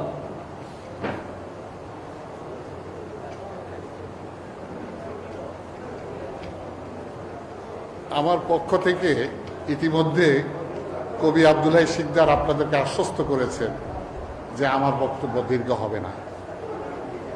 কবিকে ধন্যবাদ। আসলে আমার বলার অনেক কিছু ছিল। কারণ খন্দকার মোস্তাহিদুর রহমানের সাথে আমার পরিচয় দীর্ঘদিনের। প্রায় ছাপ্পান্ন বছর আমি এখানে বসে হিসাব করছিলাম। এ এতদিনের কত স্মৃতি জমে আছে। আমি যখন প্রফেসর মাহবুল্লাহ বক্তব্য দিচ্ছিলেন, আমার মানসপটে ওই সকল স্মৃতি ভেসে আসছিল। আজকের অনুষ্ঠানের মাননীয় প্রধান অতিথি, আমার সুযোগ্য সহকর্মীবৃন্দ সুদীমণ্ডলী ইসলাম আলাইকুম। আমি খন্দকার মুস্তাহিদের সাথে আমার প্রথম পরিচয় হয় সেই উনিশশো সাতষট্টি সালে। সেই অগ্নিঝরা দিনগুলিতে যখন এ দেশের ছাত্র জনতা সেই আইয়ুবের স্বৈরশাসনের বিরুদ্ধে সংগ্রামে লিপ্ত ছিল। সেই তরুণ মুস্তাহিদুর রহমান, মির্জা আলমগীরও তখন তরুণ, তবে মুস্তাহিদের চেয়ে এক বছর বোধহয় সিনিয়র ছিলেন, একই বিভাগে পড়তেন মাহবুল্লাহ ওই বিভাগে পড়তেন মাহবুল্লাহ বোধহয় শেষ বর্ষের ছাত্র ছিলেন তখন। আমার পাঠ তখন শেষ হয়, শেষ হওয়ার পথে আমি বোধহয় অনেক পরীক্ষার্থী। ঠিক ওই সময় এক বিকেলে সলিমুল্লাহ মুসলিম হলের এ কোনো একটি প্রকোষ্ঠে খন্দকার মুস্তাহিদের সাথে আমার পরিচয় হয়। পরিচয় হয় নুরুল আমিনের সাথে। পরিচয় হয় সেই ব্যাচেরই ছাত্র রেজওয়ানের সাথে। এবং এই পরিচয়ের সূত্র ধরে একসাথে আমরা বহু কাজ করেছি। বিশেষ করে খন্দকার মুস্তাহিদ ছিলেন অত্যন্ত কমিটেড একজন তখনকার একজন ছাত্র পরে ছাত্রনেতা, পরে সহকর্মী এবং তারপরে এই আমাদের যে প্রগতিশীল রাজনীতি, এই দেশের যে যে জাতীয়তাবাদী প্রগতিশীল যে রাজনীতি, সেই ধারার সাথে আমরা যুক্ত হই।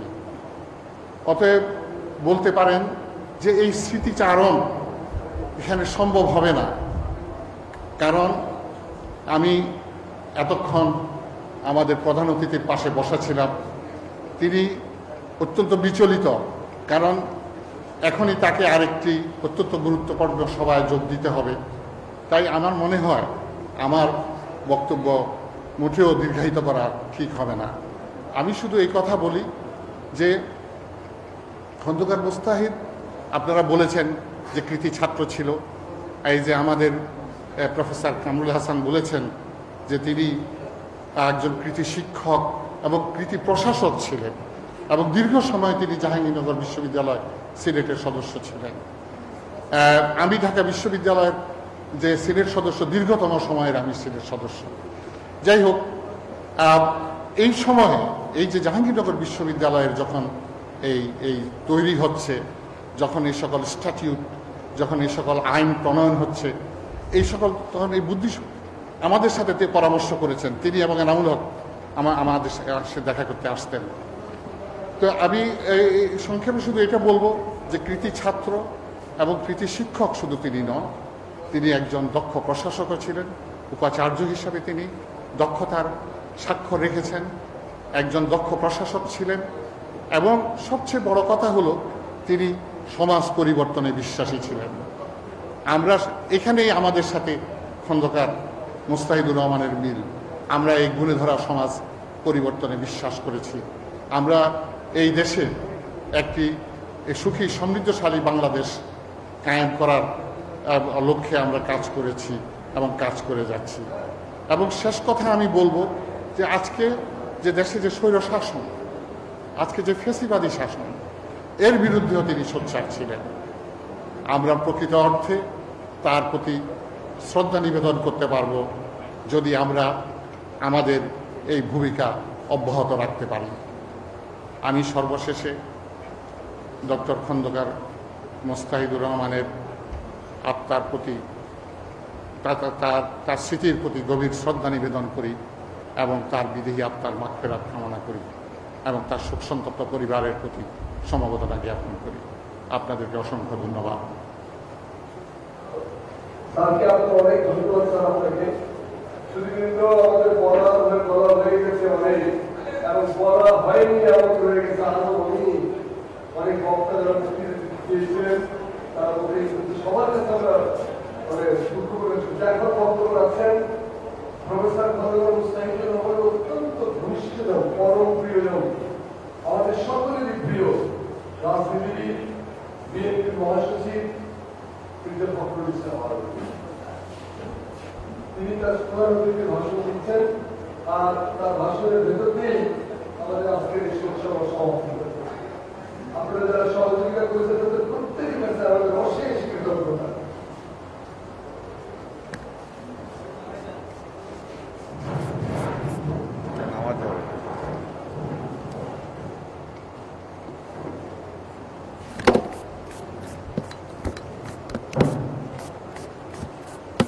এই কেমন কাল এলো যে এখন স্প্রে হাতে নিয়ে দাঁড়াতে হয় আর স্প্রে করতে হয়। উপায় নেই।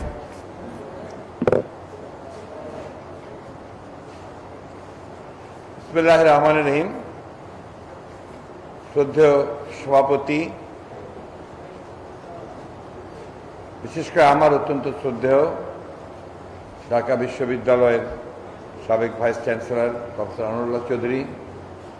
আমাদের এখানে উপস্থিত আছেন আমাদের সাবেক শিক্ষা প্রতিমন্ত্রী, যিনি শিক্ষাঙ্গনে নকল প্রতিরোধের ক্ষেত্রে একটি ইতিহাস সৃষ্টি করে গেছেন এবং উপস্থিত বিজ্ঞ আলোচকবৃন্দ, বিভিন্ন বিশ্ববিদ্যালয়ের অধ্যাপকবৃন্দ সুদীবৃন্দ ইসলাম আলাইকুম। মুস্তাহিদুর রহমানের একটা ডাক নাম ছিল, খালেদ। আমরা খালেদ বলেই তাকে চিনি। আমার এখনও মনে হয় খালেদ মুস্তাহিদুর রহমান। এই এই নামটাই আমার কাছে সবচেয়ে পরিচিত। খালেদ এত তাড়াতাড়ি আমাদের ছেড়ে চলে যাবে এটা আমি কখনো ভাবিনি। আপাদ মস্তক একজন স্বচ্ছ, সৎ পেশাজীবী শিক্ষক এবং বিদ্রোহী, অন্যায়ের বিরুদ্ধে বিদ্রোহী মানুষ খালেদ মুস্তাহিদুর রহমান। আমি সে নামেই তাকে ডাকতে চাই। ব্যক্তিগতভাবে আমার সঙ্গে তার পরিচয় ঢাকা বিশ্ববিদ্যালয়ে জয়েন করার পর থেকেই, অর্থাৎ শিক্ষকতা পড়াশোনা শুরু থেকেই, ছেষট্টি সাল থেকেই, আমাদের পরবর্তী ব্যাচ যেহেতু ছিল সেই কারণে ঘনিষ্ঠতা অত্যন্ত বেশি ছিল। পরের এই ব্যাচটা ছিল, তারাও খুব মেধাবী ছিল। মুস্তাফিজুর রহমানের কথা আপনি বলেছেন, শুনেছেন যে তিনি এসএসসি পরীক্ষা প্রথম হয়েছিলেন এবং তখন ঢাকা বিশ্ববিদ্যালয়ের যে কয়েকজন মেধাবী ছাত্র সামনে এসছেন, তার মধ্যে খালেদ অন্যতম ছিলেন। অত্যন্ত লো প্রোফাইলে থাকতেন। কখনো নিজের কথা নিজেই বলতেন না বা সেইভাবে নিজেকে প্রকাশ করতে চাইতেন না। এটা তার সবসময় এবং শেষ পর্যন্ত তাই থেকেছেন তিনি লো প্রোফাইলে থেকেছেন। প্রফেসর মাহবুল্লাহ সাহেব একটা গল্প বলেছেন আপনাদের সঙ্গে, একটা ঘটনা। কিন্তু তারপরে ঘটনাটা উনি বলেননি, সময় ছিল না হয়তো।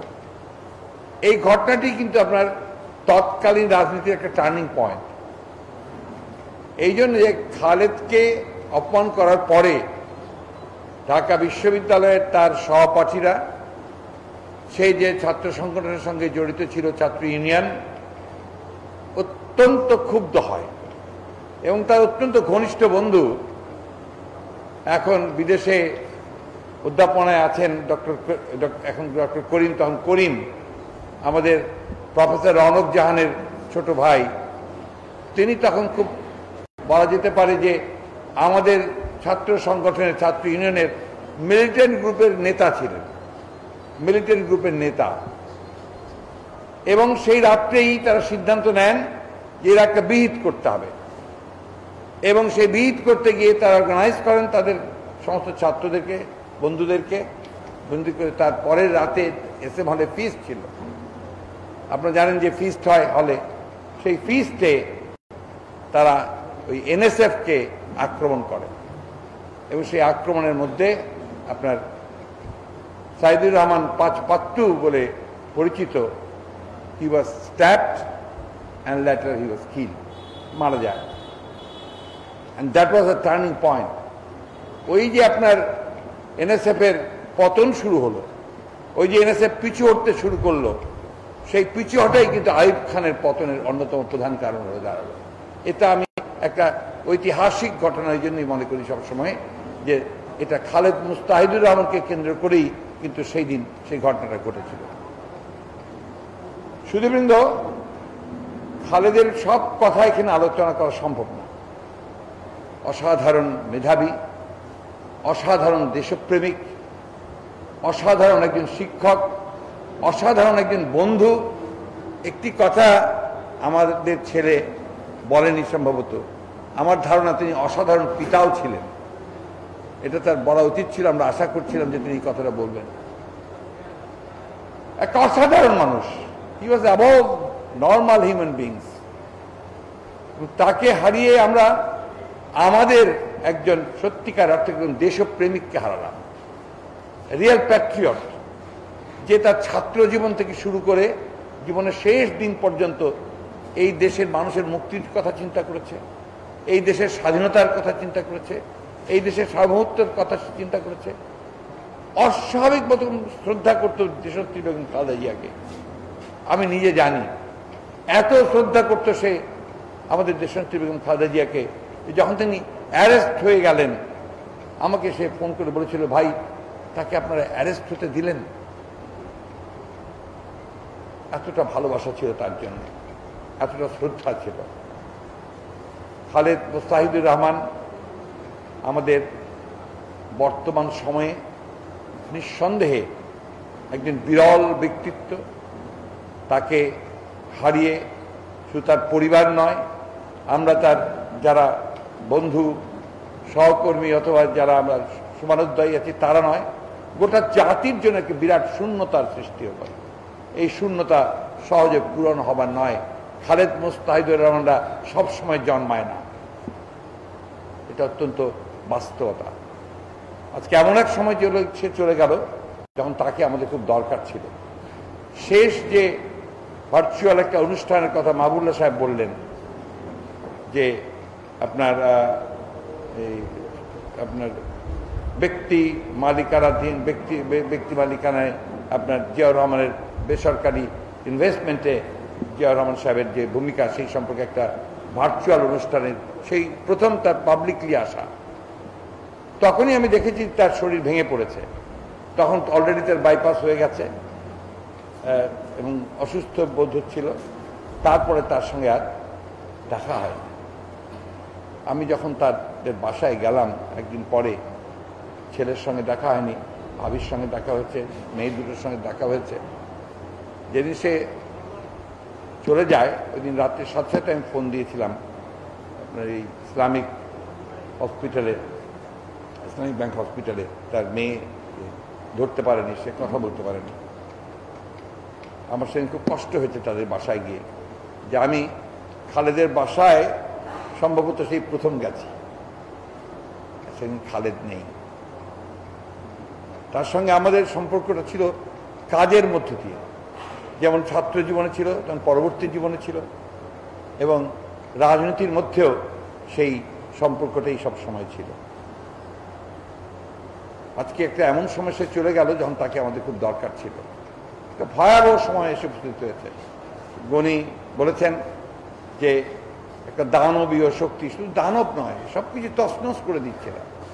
এই যে শিক্ষাঙ্গনের কথা দেখুন, আজকেই, আজকে সকালে ঢাকা বিশ্ববিদ্যালয়ে ছাত্র দলের ছেলেরা, তারা একটা শান্তিপূর্ণ একটা প্রতিবাদ করতে গেছে তাদের একজন সহকর্মীর মুক্তির জন্যে। সেইখানে ছাত্রলীগের সন্ত্রাসীরা, পুলিশ সহকারে তাদের উপর নির্মমভাবে আঘাত করেছে, অত্যাচার করেছে, নির্যাতন করেছে। শহীদ প্রেসিডেন্ট জয়রহমান সাহেবের মাজারে ফুল দিতে গেল আমাদের ঢাকা নর্থ এবং সাউথের নবগঠিত কমিটির নেতৃবৃন্দ। কোনো উস্কানি ছাড়া, কোনো রকম ঘটনা ছাড়াই সেখানে ভাব ও তাণ্ডব সৃষ্টি করল পুলিশেরা। তার একশো সাতাশি রাউন্ড গুলি করেছে সেদিন। এবং প্রায় বিয়াল্লিশ জনকে আহত করেছে। আপনারা দেখেছেন যে আমাদের আমারুল্লাহ আমান, আমিনুল ইসলাম এবং আমাদের প্রায় বাষট্টি জন, বাহাত্তর জন আপনার নেতা সেদিন গুলিবিদ্ধ হয়েছেন। আপনারা দেখছেন যে প্রতি মুহূর্তে যেই যে একটু কথা বলছে, তাদের মতের সঙ্গে মিল হয় না, তার উপরেই তারা চড়া করছে তাকে তারা আক্রমণ করছে। এবং আজকে সত্যিকার অর্থেই এই ফ্যাসিবাদী যে একটা রাষ্ট্র তৈরি করেছে তারা, যার মূল লক্ষ্য হচ্ছে তারা একদলীয় শাসন ব্যবস্থাকে প্রতিষ্ঠা করতে চায়। আমাদেরকে, আমাদের ভবিষ্যৎ বংশধরকে যদি সত্যিকার অর্থেই আমরা একটা স্বাধীন সার্বভৌম বাংলাদেশ দিতে চাই, তাহলে আমাদেরকে সকলকে জোটবদ্ধ হতে হবে, ঐক্যবদ্ধ হতে হবে। আমাদের কোনো বিকল্প নেই এখন রাস্তায় নেমে আসা ছাড়া। শুধু সেটা মাত্র রাজনৈতিক দল, বিএনপি নয়, বা শুধুমাত্র বিরোধী দলগুলো নয়, সবাইকেই নেমে আসতে হবে। আজকে যারা আপনারা এখানে আছেন, আপনারা সুদীজন, বিশ্ববিদ্যালয়ের অধ্যাপক আছেন সংবাদসেবীরা আছেন, প্রত্যেকেই আক্রান্ত হচ্ছেন। কেউ আপনার কিন্তু বাদ পড়ছেন না। নোবডি ইজ স্পেয়ার সুতরাং সবাইকে নেমে আসতে হবে। নেমে এসে আজকে এই যে ভয়ঙ্কর একটা দেশ বিরোধী শক্তি। এটাকে শুধু, এটা আমাদের দেশের বিরোধী একটা শক্তিতে পরিণত হয়েছে। এই দেশ বিরোধী শক্তিকে সরাতে হলে অবশ্যই আমাদের সকলকে আজকে ঐক্যবদ্ধ হয়ে, তাদের বিরুদ্ধে সোচ্চার হয়ে, তাদেরকে পরাজিত করবার জন্য আমাদেরকে কাজ করতে হবে, জনগণকে সংগঠিত করতে হবে এবং এদেরকে পরাজিত করতে হবে। তাহলেই খালেদ মোস্তাহিদুর রহমানের যে আত্মা, তার রূপ সেটা শান্তি পাবে। কারণ সে সেটাই দেখতে চেয়েছিল তার জীবনের শেষ মুহূর্তগুলোতে। আসুন, আমরা সবাই তার জন্য দোয়া করি। তিনি যেন বেশ নসিব হয়। তার পরিবার পরিজনের সদস্যরা যেন তারা ভালো থাকেন, সুস্থ থাকেন, এবং তারা যেন তাদের বাবা ছেলে এখানে আছে, তারা যেন বাবার মতো সামনে এসে দাঁড়াতে পারে সকলের দৃষ্টি আকর্ষণ করতে পারে, এবং দেশের জন্য, জনগণের জন্য কিছু কাজ করতে পারে। একই সঙ্গে আমরা সবাই যেন তার কাছ থেকে অনুপ্রেরণা পেতে পারি এই কথা বলে আমি আবারও আব্দুল হাই শিকদারকে একটা ধন্যবাদ না দিলে একদম অন্যায় হয়ে যাবে। কারণ আমি যখন তাকে বলেছি যে মুস্তাহিদুর রহমানের একটা নাগরিক শোকসভা করা দরকার, সে সাথে সাথে দায়িত্ব নিয়েছে। এবং আমি নিশ্চিত ছিলাম অত্যন্ত সুন্দর একটা পরিবেশের মধ্য দিয়ে অন্তত আমরা এই নাগরিক সভাটা করতে পেরেছি। অন্তত ওইটুকু একটা ঋণ শোধ করার চেষ্টা আমরা করেছি। সেই জন্য আপনাকে আব্দুল শিকদার অনেক ধন্যবাদ। আপনাদের সকলকে ধন্যবাদ। সালাম আলাইকুম। খুদা হাফেজ। বাংলাদেশ জিন্দাবাদ। আমি মনে করি যে খালেদ মুস্তাহিদুর রহমান আমাদের মাঝে চিরদিন বেঁচে থাকবে। সালাম আলাইকুম।